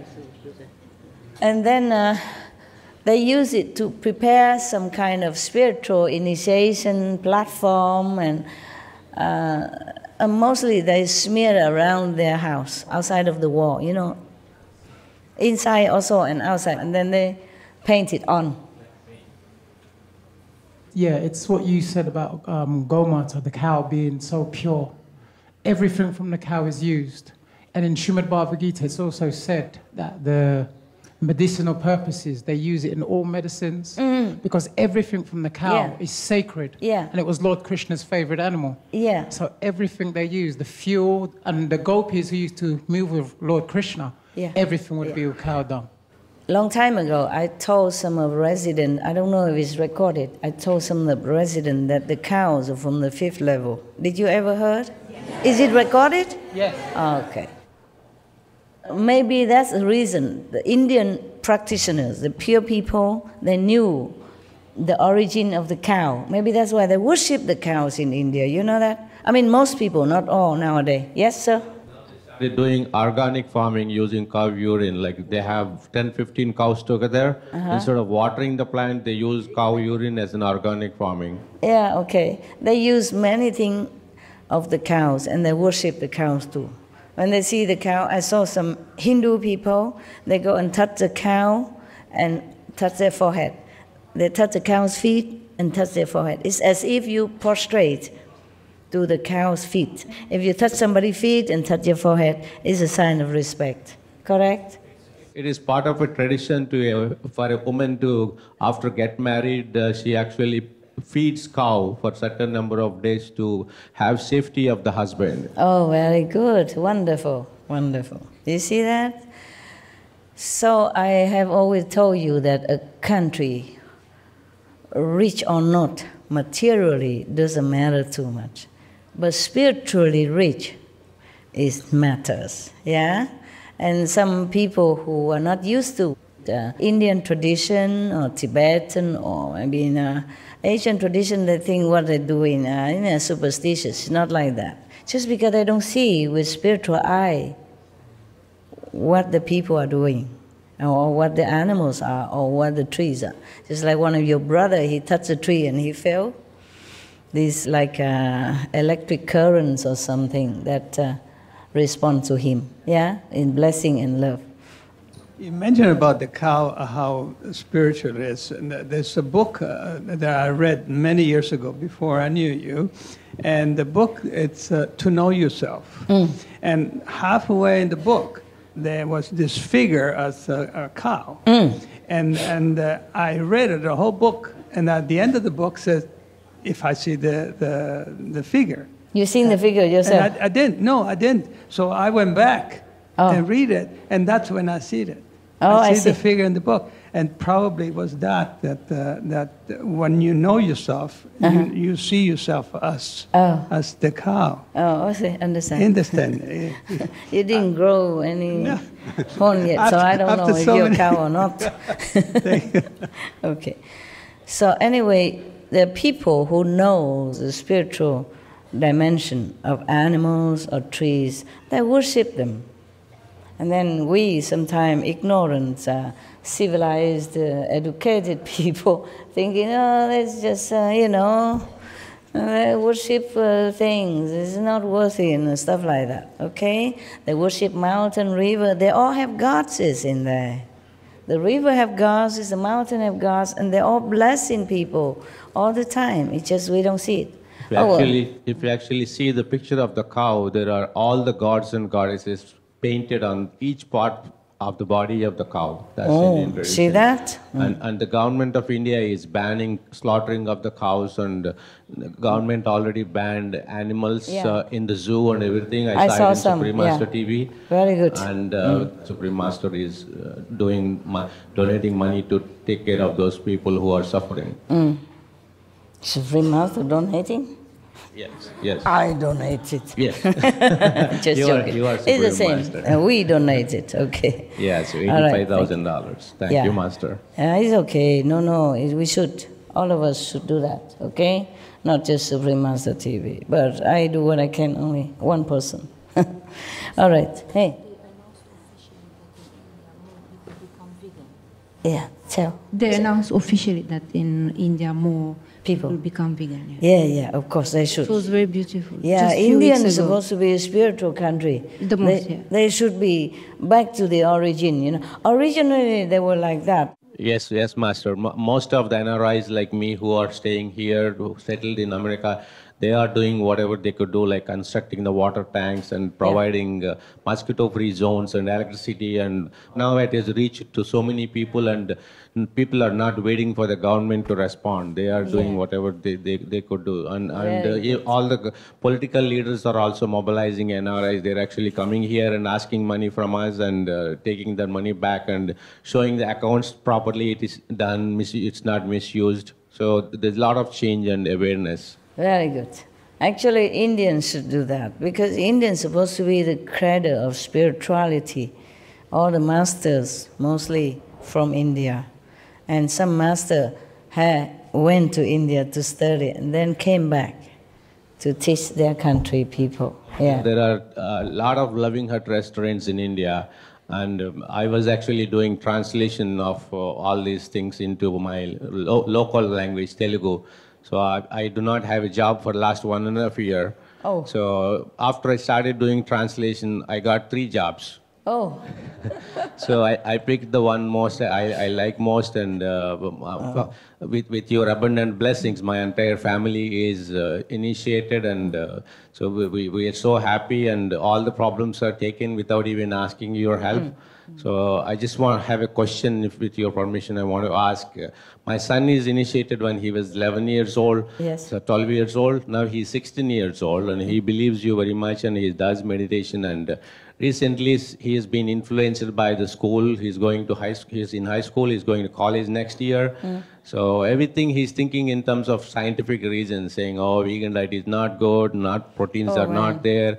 And uh, it is because I'm studying well, I'm passing all these exams. It is not because of master, things like that. and my, my wife is a 100% diligent practitioner and she is having big Ah. fight with him. And uh, Ah, so we, we, we trying you to don't supply him with the, the like the scientist evidence and the doctor's evidence from America. No, he does all that. He goes to Google and shows me something. I go to Google and show him something. Then, uh, then, then the last weekend we we had an argument. He he got out of the car and he ran away. Then I got I got call call the police and bring him back and uh, all kinds of. Oh, let it be. Yeah, should we go easy on him or tough on him? That's what we our dilemma is. Uh, let it be, okay? Because uh, teenagers, they are Yeah, rebellious in yeah. nature, you know? They hate you for nothing. Right, yes, yes. they do everything against you and they feel cool about Right, that. So yes, let it be. He'll cool down. Sure, thank you. Okay?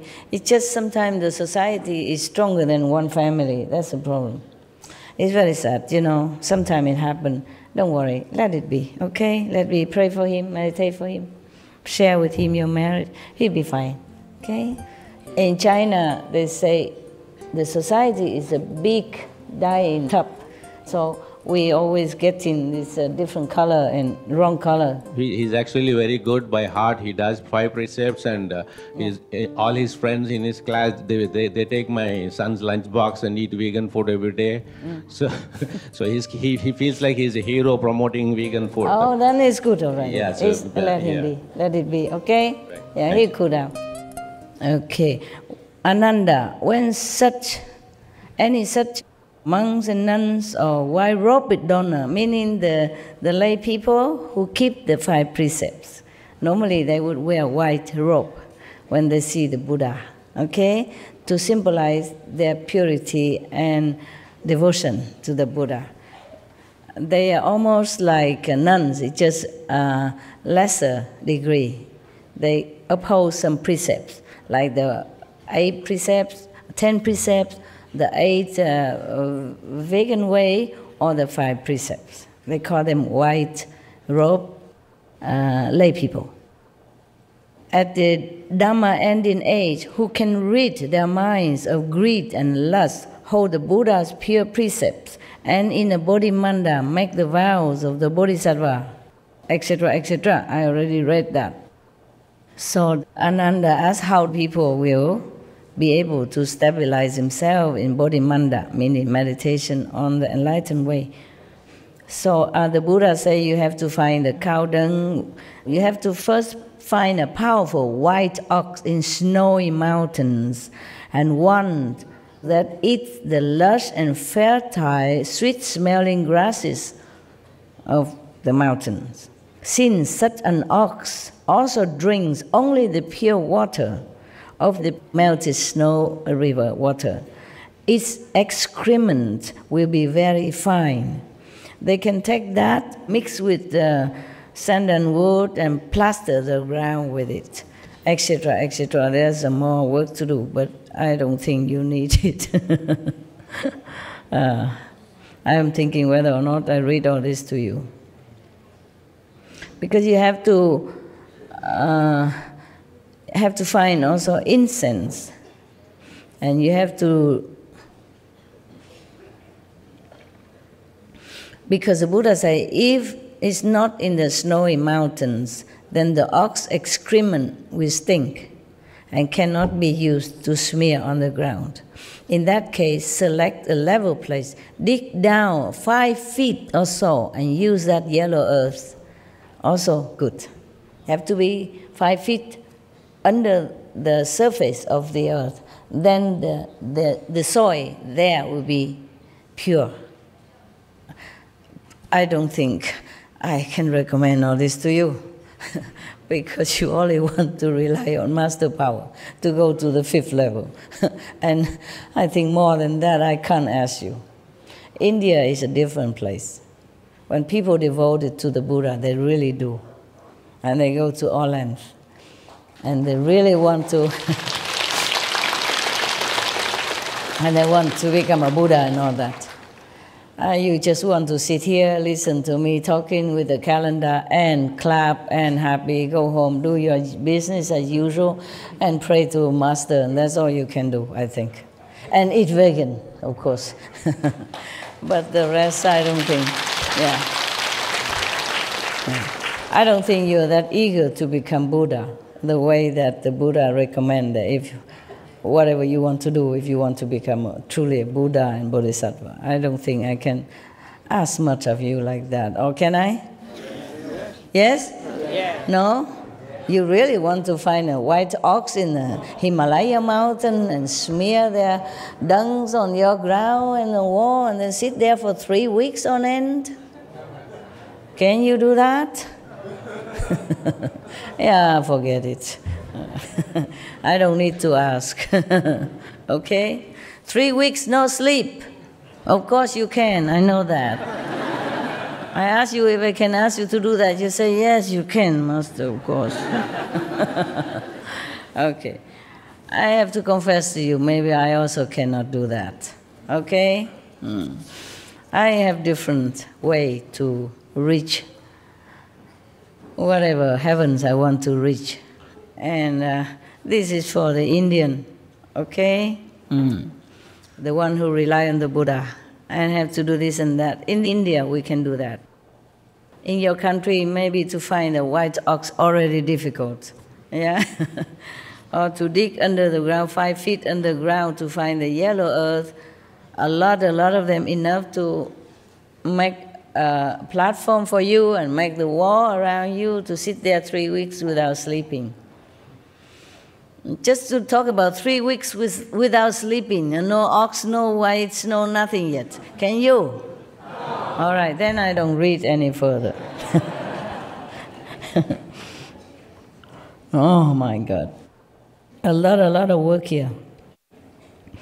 Nevertheless, just pretend that you have done all the preliminary preparation you know, with the white ox duns and with the sweet eating grass and all that first, okay? And just pretend that you have done all that. And just pretend that you could go without sleep for three weeks. Okay, now I read further. Mm. And have you burned a lot of incense, etc., etc.? And then the four sides of the wall, you have should suspend flags and flowers. And within the room where the platform located, should arrange on the four walls images of the Thus Come Ones and bodhisattvas of the ten directions. If you can find all their images, okay? That's just pretend that you already done the, all the things that you say you can or not can. And then you have to do all that as well all the Buddha, Bodhisattva on all your walls. And then in the most prominent place, display image of Vairocana Buddha. I don't know if you can find that. And then Shakyamuni Buddha, that you can find. Maitreya Buddha, you can. Uh, Amitabha Buddha, you can. In all the magnificent transformation of Kuan Yin Bodhisattva as well, if you can find them. Mm. To the left and right, place the Vajra treasury Bodhisattvas. Beside them display the Lord Shakra and Brahma, Ucchushma, Blue Diga, as well as Kundali and Bhrikuti and all four heavenly kings with Vinayaka to the left and right of the door. All this because you don't find a living master. You study with uh, his disciple or some lay, later generation disciple. If they still uh, have the instruction in their heart to tell you. Then, because the living master, meaning the Buddha is not there anymore, you have to do such, such and such and such and such and such and such, such, such, such. Then you can also become enlightened, and the Buddha will appear to you and bless you to be enlightened. That is that. So, the living master is easier way for you if you can find one.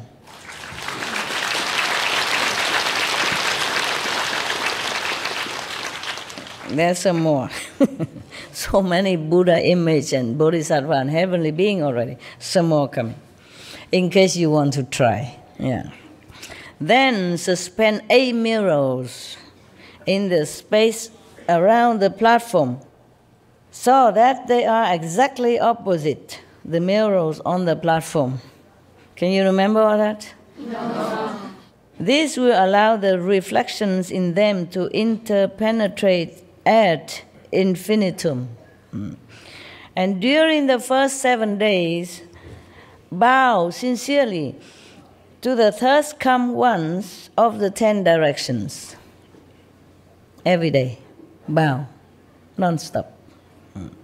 To the great bodhisattvas and to the names of the arhats, if you know all of them, okay? If you can find their names in any sutra or by any chance. But that was just uh, almost immediately, a few hundred years after Buddha died, after the Buddha Nirvana.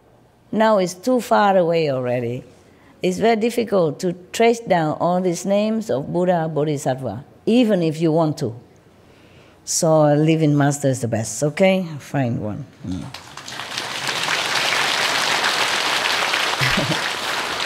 it's just because the living master are the, the transmitter directly of enlightenment and blessing. After the living master is gone, the energy diminished as days go by, years go by. So you have to find the living pole who still holds this energy of enlightenment and blessing direct from heaven to give it to you. Only if you don't have a lighter that you have to rub the stones together or do whatever, you know, very hard in order to make fire. If you have a matchbox, match and lighter, do you still need to do that? No, find the matchbox, find the lighter, okay? Check quick, immediately. You have, you can light the candle with it, make fire with it. Okay. But nevertheless, I read it all to you. I cut some already. It's very cumbersome and a lot of work to do. I just read some some parts so that you know already that it's almost impossible. Yeah, you want to become Buddha when you don't have a guru. Well, that's how you have to do. And it's not the end of it yet, okay? ah, that the first seven days you have to do that. Now you don't know uh, the name of the, all the arhats, you know, the name of all of his disciples who has become Arhat. You don't know them anymore, okay? You don't know the name of Vairocana Buddha, for example. You don't even know where to find his image. At that time, when the Buddha almost uh, just uh, uh, for nirvana, they still have all this with his disciples or descendants of disciples. So, throughout the six periods of the day and night, continually recite the mantra as you circumambulate the platform. Practice the way, you know, this method with a sincere mind, reciting the mantra 108 times as a stretch. Not just the first day, but continue. All the six periods of the day, doing this and that. And then during the second week, direct your intent by making the vows of a bodhisattva. The mind should never be cut off from them. In my Vinaya, I have already taught about vows in some of his teaching. He taught about how to make vows for uh, to become a bodhisattva. Okay, if, if your intention to become a bodhisattva, how much vow you have to make, how resolute you have to make up your mind with. That's why he didn't mention here again the bodhisattva vows. Okay, during the third week, one holds the Buddha's mantra, Bodhala, for 12 hours at a time. Can you do that? Non stop. Okay. With a single intent. And on the seventh day of the third week, yeah, the Thus Come Ones of the ten direction will appear simultaneously. Some of you don't do anything like that, and you see the Buddha, the Jesus, even just by sitting uh, after eating the dinner from the public kitchen. so, having transmission from a living master is the quickest way. The lazy people can do it. Yeah? I'm not talking about you, I mean any lazy people. I don't mean you're lazy, sorry. Don't mean to offend you. you're good, good. Very diligent.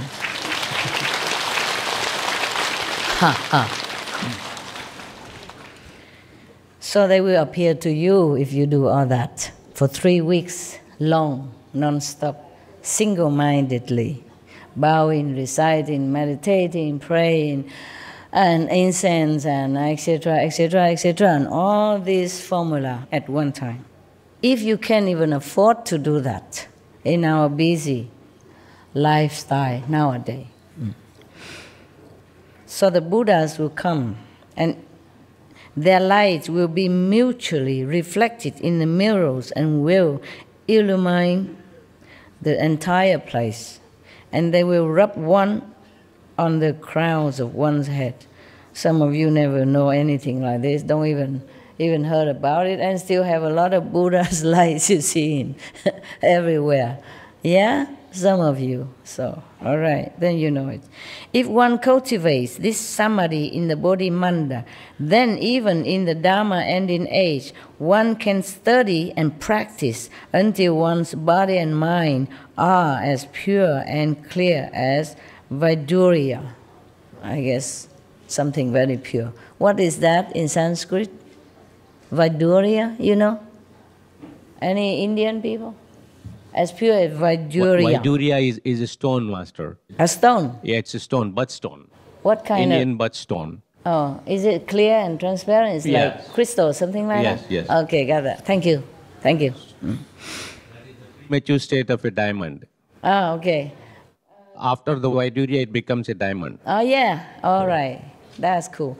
You want to ask something so, deal, uh, so urgently?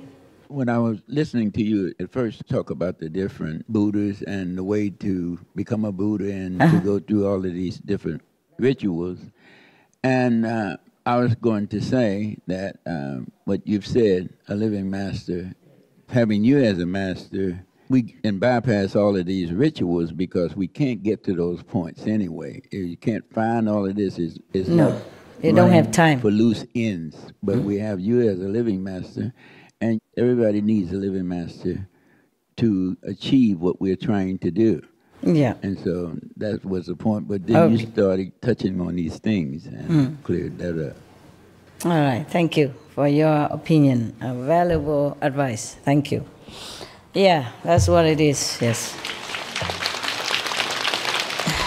The Indian people, they know this inside out. Every sutra, every uh, book of Vedas emphasize always living master, living master, living master. In- In those days, the gurus are very few. You can count on fingers. That is why all these procedures are available. Right now, we have uh, the Himalayas is right here. Except no snow. all right, love. All right, love. I was uh, wondering why you Indian come all the way to Taiwan to find your guru. That's the quality matter, master, not quantity. Uh, we have it in India, yes, okay. Uh, we don't want to say any comparison, okay? This might be offending. All the gurus should be respected. It depends on, on your level, you know? If you are not uh, ready to a higher dimension or teaching, then you, you, you cannot uh, just uh, blame any master. Master, I was told by uh, the holy man that I met, he told me that he, in his own life, he was fortunate enough to meet five enlightened masters. Uh-huh. And then, when I, I just spontaneously said, Can I meet five too? And he closed his eyes and he said, Now they're gone, there's only one. He told me very clearly, There's only one. Oh. one, meaning there's only one enlightened, fully enlightened master in the world. Where is I that? Guess, I guess you. Oh, wow. Wow. Whoever told you that, I, I want to ask him where. well, thanks to your master, huh? He is a good one. All right. If you believe that, it's good for you. If you have proof for that, good for you. If you don't have proof for that, don't don't blame me. Huh? My previous master knows you, master. Who? Uh, my, my previous master, which we whom we discussed with you, Brahmarshi Patriji's Pyramid Spiritual Societies. He is a Buddha's meditation master. Oh. He knows, and I still meet him whenever he comes to USA. He, he stays in my house. he knows me? Uh, you know him, he knows you. Oh. So you have seen his picture and you told Ah. him who he was. And uh Uh-huh. so last time when I met him, and he said, myself and my wife, these are these two are uh, Supreme Master Ching Hai's favorites. Oh. And and uh, he actually asked me to invite you to India. Uh, uh, and actually, they uh, every year from December 21st to December 31st, every year they do a group meditation with 100,000 people. Oh. So they, they construct pyramids at the scale of 5,000 to 6,000 people can sit inside. He actually asked me to invite you Oh. to India. So every every three months, so he here they actually publish uh, Supreme Master Ching vegan diet and all those things in their magazines. Oh, yeah. Right. wow. Thank him a lot and tell him that uh, I really, really appreciate his invitation. It's official now, she said. That uh, Official now, Indian goes vegan, okay? All right, please tell your master that uh, I pay respect and Thank- I I, thank Thank- him. thank you, yes, Master. Yes. Okay. Uh, all right. There are so many, Master. It's, it's easier for you to choose now. They actually believers of the cosmic energy, which is which is produced through pyramid, like Giza pyramid. So all the disciples, most of them, whoever has little bit money, they buy they build a small pyramid. Because the cosmic energy is, is built at 45 degrees. Yes. Uh, th- that's the reason even Giza pyramid is is uh, is giving energy to the earth. Yes, yes, yes. That's why they built the pyramid before. I have told in one of my uh, lecture that there's a meditation place. Right. People just thinking, uh, don't know what, but I say it's No, it, if, if you sit inside a pyramid and do meditation, you achieve uh, samadhi in More three concentration. quickly. uh, just physically speaking, it's more protective. Right. Yes. Yes. And whatever negative power it will disperse out, Right. you know, in this uh, shape. Yes. And uh, I told a long time ago, I don't know if it's recorded or not, that because some people ask me what's the pyramid is for, is it a tomb or something? I said, no, no, in the old time, people built it just to meditate. It's a meditation place. Now it's proved it. All right, okay. So do what you can to help yourself. Hmm? Hmm. But I don't think that the London people can build pyramid into their little apartment. is very expensive in London, for example, you know, Paris, you know. It's, it's, it's enough to put furniture inside and you zigzag your way through it.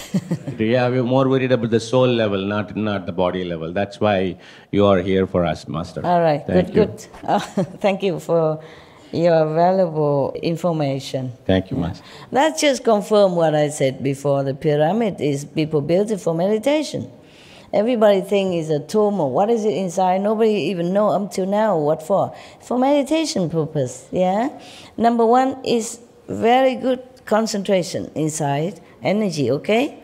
Also the cosmic energy can help you, okay? It's one pointed like that, yeah? Okay. And then Number two is that in the desert it's so hot. The pyramid is very thick. You know, the wall diameter very thick, and it's so cool inside, as if you stay in a normal. The, the basic reason pyramids were constructed is Egyptians believe that the person who dies, they will be, be reborn again. That's why they use it to mummify the body and put it inside the pyramid. The body will be born again. Yeah, they, they actually wrap it in a chemical cloth yeah, yeah, yeah, it but that is just for the- Yeah, the, their belief is the person will will take rebirth and use the same body. They use pyramids for that purpose. No, that's what people suspect. But it's just for meditation before. okay? And whatever they wrap them in silk or in a mummy uh, kind of uh, substance, it just is their tradition, just to keep it, to preserve the body. Just like we nowadays, we want to keep the body in a coffin and bury it in some special place and build a little memorial, uh, just so that we remember.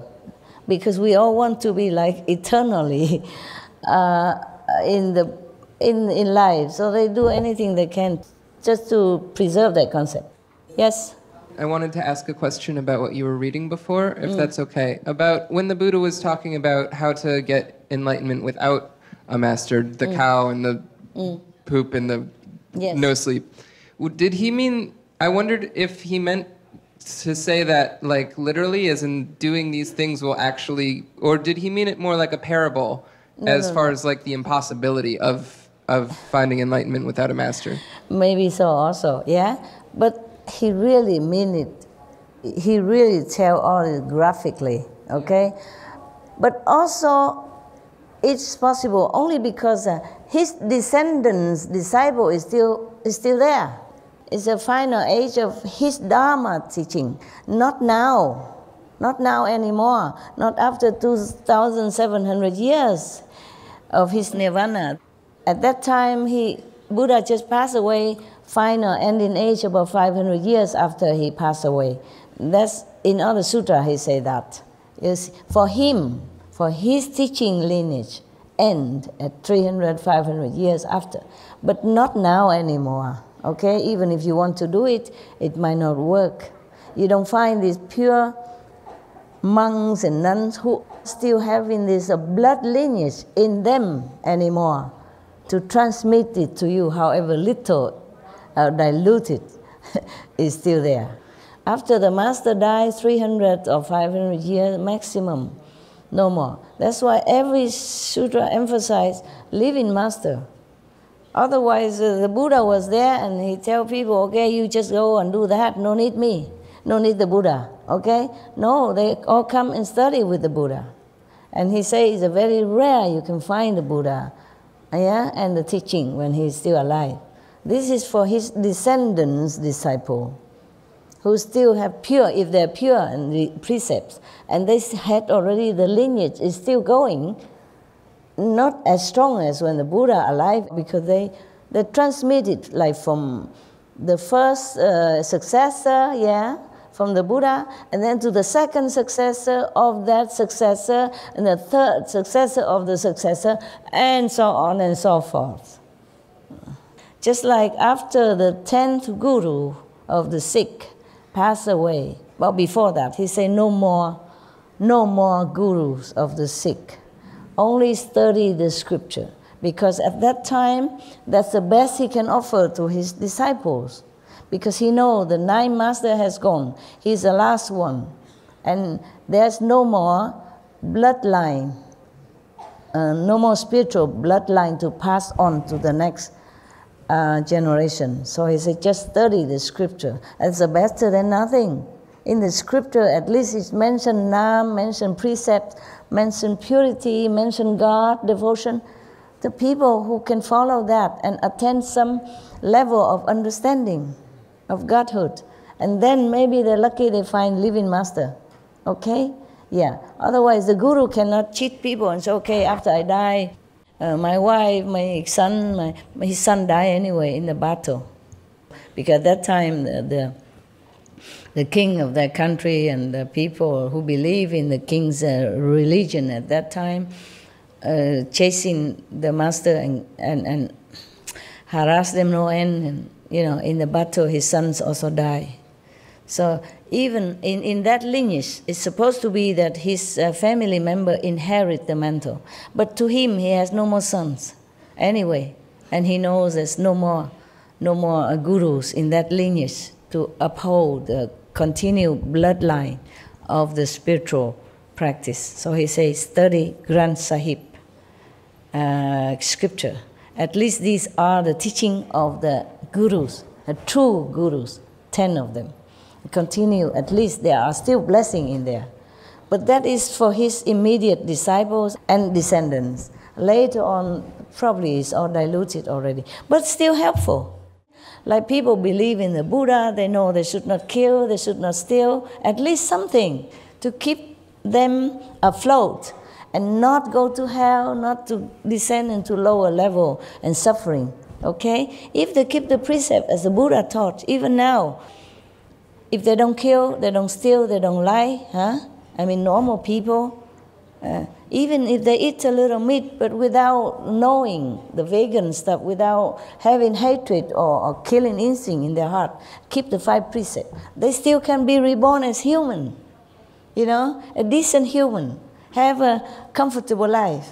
And if they continue the five precepts like that, they'll be reborn again as human, decent life, comfortable. So it helps to study the scriptures.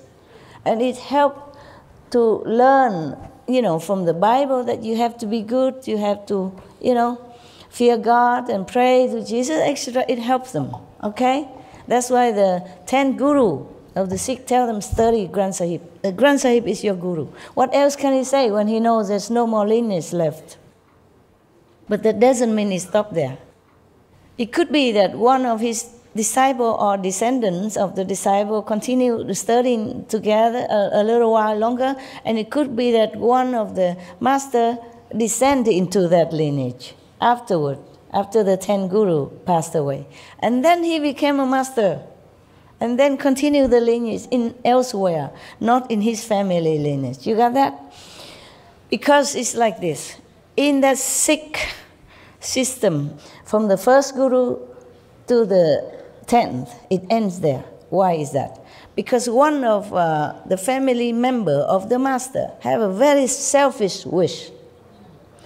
One of the earlier Sikh master has a daughter, yeah? Okay. The Sikh master, they're married, okay? But they don't indulge in, you know, physical sensation the way normal people do. They just uh, sometimes uh, have a corporal contact so that they can have children, okay? It's just tradition to have children. so they have two or three children, maybe like that. Uh, once a year or twice a year to be together with wife, nothing more. Now, uh, one of the master has a daughter, okay? She was sitting with him. Even if he's a, she's a daughter of a master, she always had to sit lower than the master.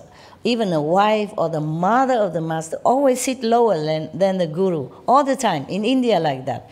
That you're not allowed to sit, it's just tradition. Out of respect, you don't sit the same height as the master, that's all. Okay, so this daughter, she sat on the ground. And the master of the Sikh at that time, earlier master, yeah? Not the 10th, but before that. And then she, he sat on his uh, bed to meditate. Yes. And the daughter was sitting uh, at his feet on the ground. And uh, somehow the bed was old and one of the leg fell off. Okay?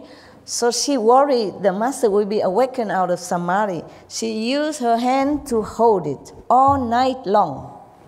But the nails are pinched into her hand, bleeding, but she still hold it.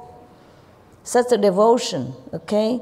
So in the morning, the master awakes from samadhi, come back to the physical life, body, and then realize what the daughter has done for him.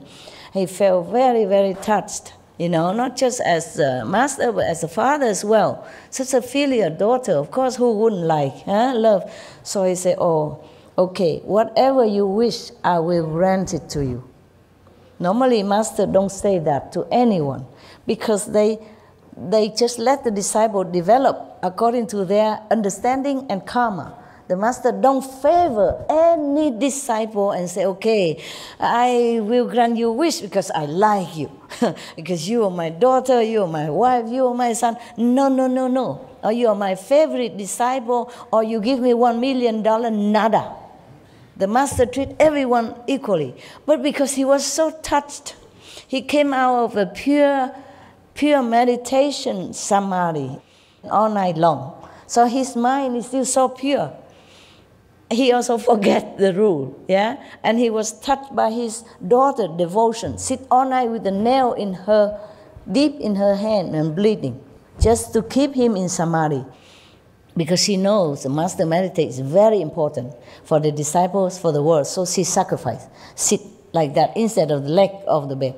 And then the master just saw that and so very touched. He said, okay, whatever wish you have, I will grant it.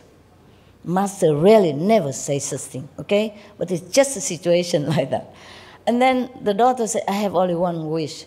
That the master lineage stay in the family. Oh man, that is very selfish. You cannot do that. The master lineage should be passed on, the master mantle should be passed on to whoever worthy and enlightened and selflessly devoted to humankind, you know, for all beings, not because a family member.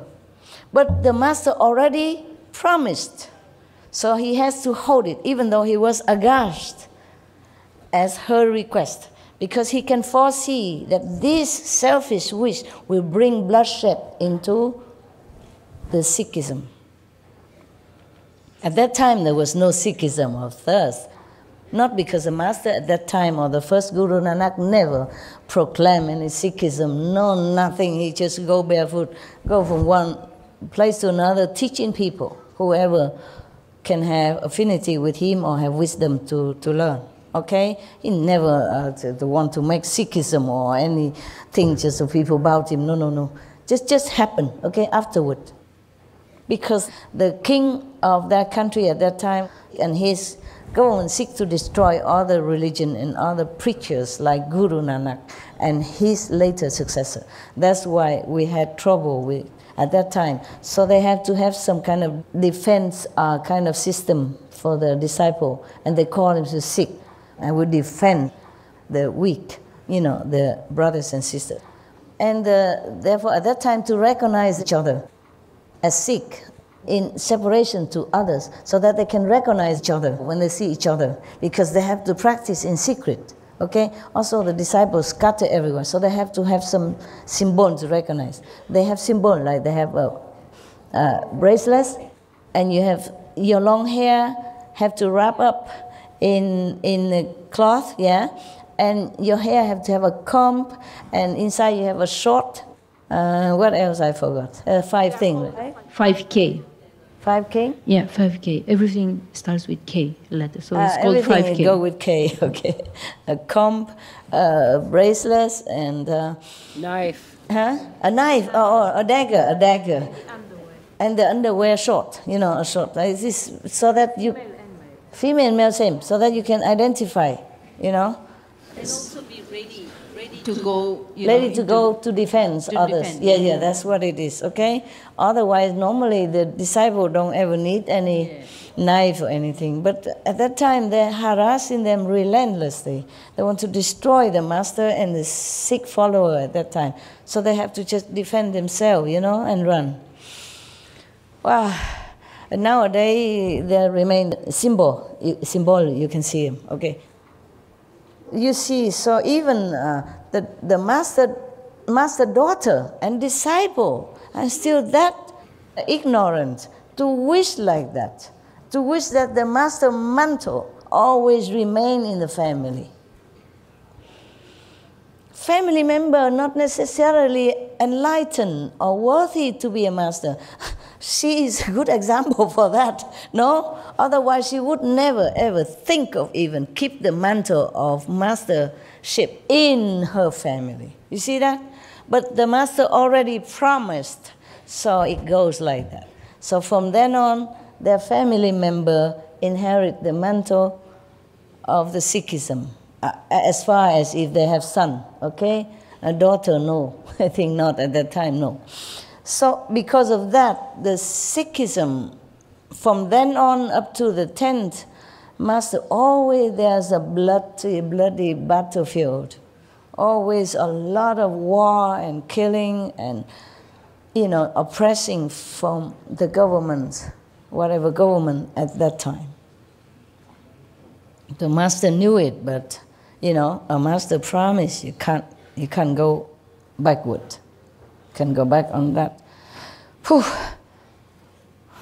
Well, I don't have a daughter per se to to hold my bed. I have a sofa, it's safer.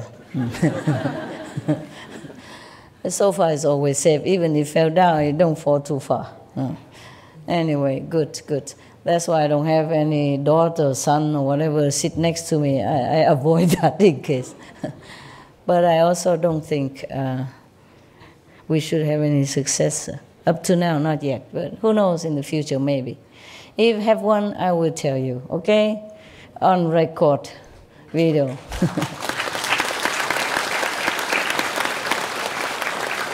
Long years ago, I thought maybe there's one. But then later, because the world changed, the karma changed so much, I don't think it's possible to anyone to handle the matter, you know, up to now. So I have to continue. Mm. Okay then, okay then. Any more? You want any more stuff? All right. I think I almost done with that and, uh, this subject about the precepts. Uh, let's see if the Buddha say any more. Ananda, if any one of the monks' precept transmitting ma- masters or any one of the other monks practicing with him is not pure, then the Bodhimanda as described will not be successful. Even if you don't sleep for three months, even if you're pure, you find all the white cow and the dung and the grass and the, uh, whatever you do, you know, more, the Buddha described more work to do, but I thought, oh, yeah, it's impossible, so forget that. I just read some for you, and you already think impossible. Okay. Therefore, the Buddha said, even then, if the bhikkhu, you know, the monk who transmitted the precepts to this ever sincere seeker, if he is not pure, then you do. you just work for nothing. Ah, oh, it's that difficult. Not just that, okay, I don't sleep three weeks and, and I find the cow and I do this and do that. As the Buddha said, then I'm fine. Who knows if the, the bhikkhu give you the precept is pure or not pure? He could do that maybe because he likes to do it, because he thinks he's pure, because he thinks he's worthy. You know? Who knows? Maybe he thought it's not pure. Hmm? Therefore, even if you have all that from one of the monks, so the other precept to you, you can never be sure. This is the problem. All right, got that? Okay. So after three weeks, Buddha's still talking now.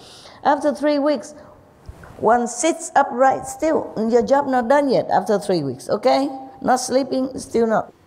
After three weeks, one sits upright and still for a hundred days more. Oh dear God.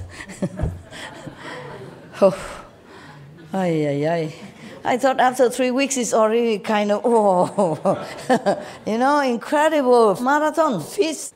Three weeks non-stop, no sleep, doing all this already. And still sit another hundred days. My God. You should be always choose your birth whenever a living master is born. so that when you grow up, your time, your age, your, you come of age and you can go and grab this master and quick. Not doing all this. I don't think I can. I honestly tell you, not me, okay? Not three weeks non-sleep and doing all this uh, outer uh, performance and a hundred more days. How, how, how long is a hundred days? Three months? Three months plus. Okay. Those with sharp faculties will not arise from their seats and will become Srotapatamabana. Yeah, mean one of the non, maybe non-return. Okay? Right. Although their bodies and minds have not attained the ultimate fruition of sagehood, not yet, not the highest, but already something on the way. Yeah. They know for certain, beyond exaggeration, that they will eventually accomplish Buddhahood. Yeah, they are already on the way after all that in 100 days. You have asked, the Buddha said to Anand, you have asked how the Bodhimanda is established. This is the way it is done. Ananda bowed at the Buddha's feet and said, After I left the home life, I rely on the Buddha's affectionate regard because I sought uh, erudition. I still have not been certified to the unconditioned, meaning Buddha has not said that he's already, you know, an arhat. Yeah, I told you. Mm. When I encounter that Brahma heaven mantra, I was captured by the deviant spell. Though my mind was aware, I had no power to free myself. You understood? No. No, okay. Then I have to use my calendar talk again. what is a Brahma heaven mantra? Ananda went out begging for food. And these uh, prostitute, because they have magical power in their family, okay? She has magical power also. She used a Brahma heaven mantra, meaning that within the three worlds, this is the highest mantra, most powerful.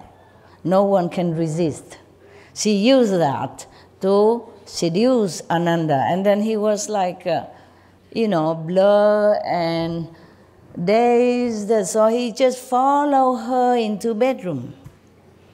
And then she did what she wanted to do with him until he almost gone. But luckily, because he has been with the Buddha, very close to the Buddha. He was the Buddha's attendant day and night, every day. And he was pure, at least so whenever he was. Yes. And of course, he has been with the Buddha uh, with many incarnations, not just this time. Always being his close attendant or his nearby acquaintance, his family, etc., etc., even in the animals' kingdom. So he remembered the Buddha. Last minute, he prayed, Buddha, please help me. I'm falling. And then the Buddha came. Or he sent, is, uh, you know, came and recite other kind of mantra to counter this, to oppose this powerful mantra.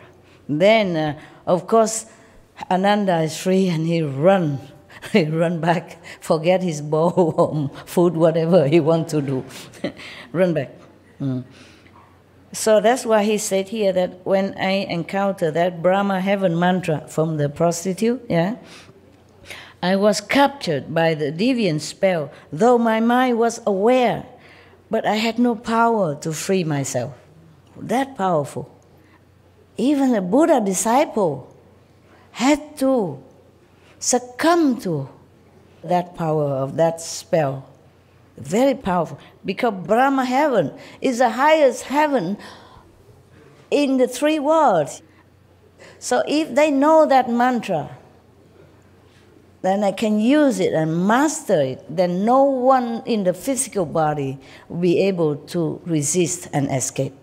Lucky for Anand, because he was always with the Buddha, life after life, and always doing good things with the Buddha or without the Buddha. He was always virtuous, moral, good, good, good physical humans or devas or animals. So because of that, he can even in such a dazed situation mesmerize uh, spirit. He still can remember the Buddha and pray to his master for help. Otherwise, he's doomed, finished. So he's saying, continue. Mm. I had to rely on Manjushri Bodhisattva to liberate me. That means the Buddha sent Manjushri immediately there and then free Ananda. So he said, although I was blessed by the Thus Come One spiritual mantra of the Buddha's summit and imperceptibly received its strength, I still have not heard it myself. The Buddha sent Manjushri to bring this Buddha summit mantra, much higher than the Brahma heaven mantra, to free Anand. Yes. Although the Buddha told him that, yeah, that because of that mantra for Manjushri, so he's free. But he doesn't hear it yet himself. The Manjushri just went there and do it. But of course, inside, you know, just like you recite the five holy names inside, and somebody get benefit. Uh, but that person know it because you told him, but he never heard it himself. Okay, so same. Ananda said he has not heard that mantra from the Buddha summit. Yes. So I only hope that the greatly compassionate one will proclaim it again to kindly rescue all the cultivators in this assembly and those of the future who undergo the turning wheel, so that they may become liberated in body and mind by relying on the Buddha's secret sounds. Now, at that moment, everyone in the great assembly bowed as one together, together at one, just bowed down together, and stood up, waiting to hear the Thus Come One's secret divisions and phrases. At that time, a hundred brilliant rays sprang from the mouth of the flesh of the crown of the World Honor One's head. A thousand petal precious lotus aroused from amidst those rays. Upon the precious flower sat at the Thus Come One's transformation. From the crown of that Buddha's head, in turn, ten beams of light shone forth, each composed of a hundred rays of precious light. Every one of those glowing rays shone on lands as many as the sands of the ten Ganges rivers. Why, throughout empty space there were Vajra secret traces, spirits, each holding aloft a mountain and wielding a pestle. Just to show their power it don't mean much. At that request, you know, of the Buddha, a secret mantra, all the Vajra, the Vajra God, those who uphold, uh, I mean, guarding the Dharma and all those, they already standing ready, each one holding a mountain and a pestle. It's just their position, ready to protect the Dharma, to protect the Buddha's secret teaching. Okay? So they're all ready the great assembly, gazing upward, felt fearful admiration and sought the Buddha's kind protection. Because when the Buddha protectors are ready in their position, they can destroy anything. Anyone who is not pure, anyone who has a bad intention towards the Buddha or the Buddha's teaching, they are ready. That's why they hold the mountain and pestle, ready to crush anyone any being who's not respectful, who's not pure. Because this is a very sacred, secret mantra. And the Buddha uh, used that to rescue Ananda and also maybe in the future being. That's why they're all ready to protect it. Yeah? That's why the assembly, who are kind of uh, not yet strong in, in spiritual position and, and level, they're so scared fearful, and they ask the Buddha to protect them because they these are Vajra, Vajra uh, uh, gods. They are fearful looking, and holding big mountain and pestle ready to attack anyone or crush anyone. So the, the assembly, not just monks and nuns or bodhisattva, but the assembly with the dragon and those ghosts and demons and all that good ones, and they're still fearful because they know they're not up to anything, up to any standard to protect themselves. In case the Vajra gods want to crush them, because they look too fearful, so big and giant, holding big mountain and pestle, and it's not a small one like the golf stick, yeah, big, you know, and mountain holding ready. So they seek the Buddha's uh, protection, and single-mindedly they listen as the Thus Come One in the light at the, the invisible appearance on the crown of the Buddha's head, proclaim the spiritual mantra. That spiritual mantra is uh, more than 10 pages long. From 173 to 191. How much is that? More than 10 pages for sure. Yeah, I, I was right. You don't need it, okay? Number one, you have your protection. Okay, you have your master power protection. Number two, it is translated.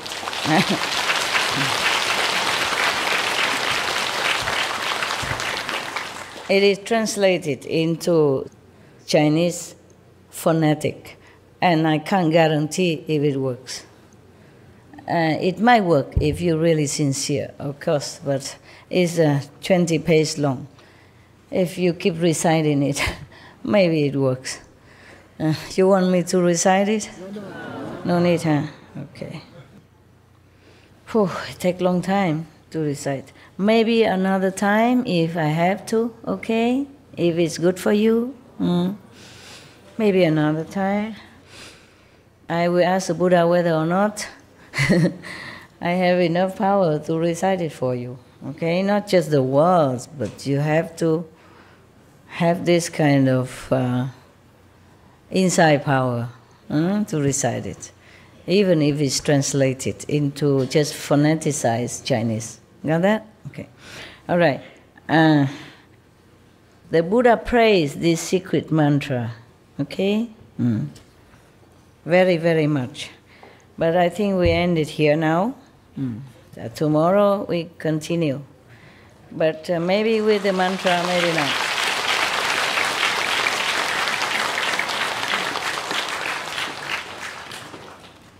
Maybe with a mantra, maybe with another one, because I have promised you something else.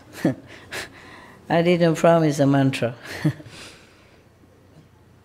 Imagine, I don't know how long it takes the Manjushri to recite this mantra while Ananda was in the helpless situation. but Manjushri pronounced the mantra probably, you know, quietly, but it affects immediately and wake Ananda out of this uh, bewitched slumber. and Ananda run back to the Buddha with uh, Matangi daughter trailing behind. wow, what a scene! Huh? what a scenery! It's like movies, yeah.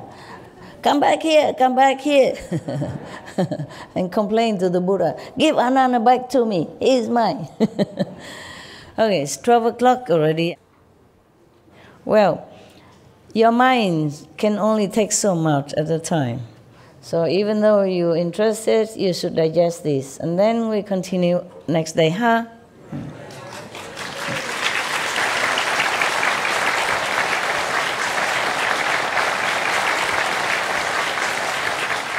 Tonight I will sleep in a tent like you. I will enjoy it. Fresh air.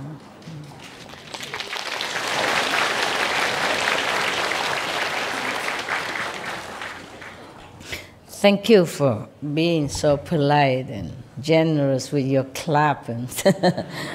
your clapping. Okay.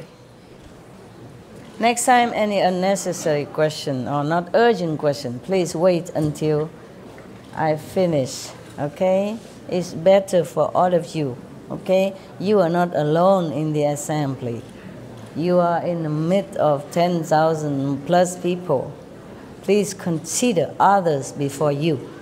That is the minimal uh, courtesy and minimal selflessness. Okay? And if you listen to the teaching of the sage, even from by time gone, it's good for you. Okay? Instead of just thinking of one single question, which it wasn't that important wasn't really necessary to us in the middle of that. You should respect the Buddha teaching and continue listening. That's the best, okay? If any question, there is time to ask, okay? Anything to do with the subject is better.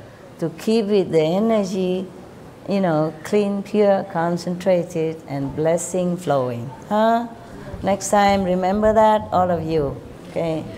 A good night.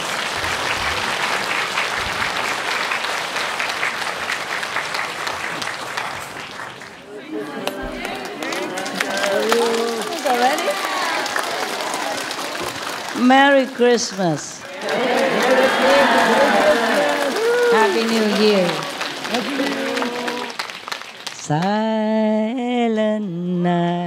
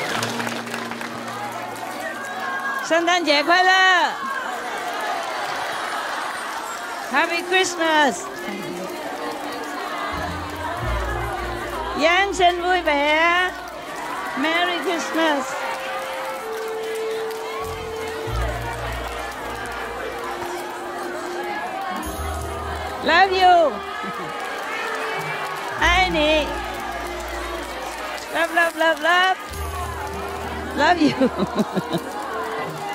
Love you, love you Love you Love you so much Merry Christmas! Merry Christmas! Happy New Year!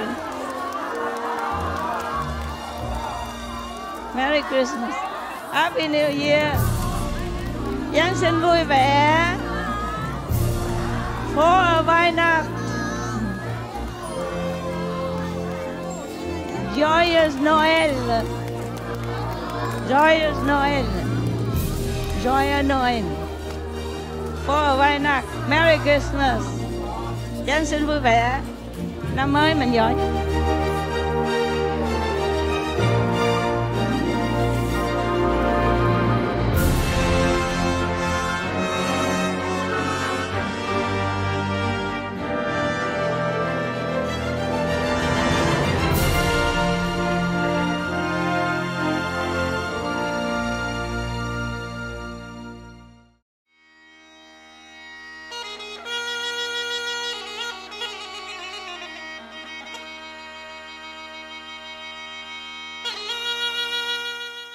Доброжелателни зрители!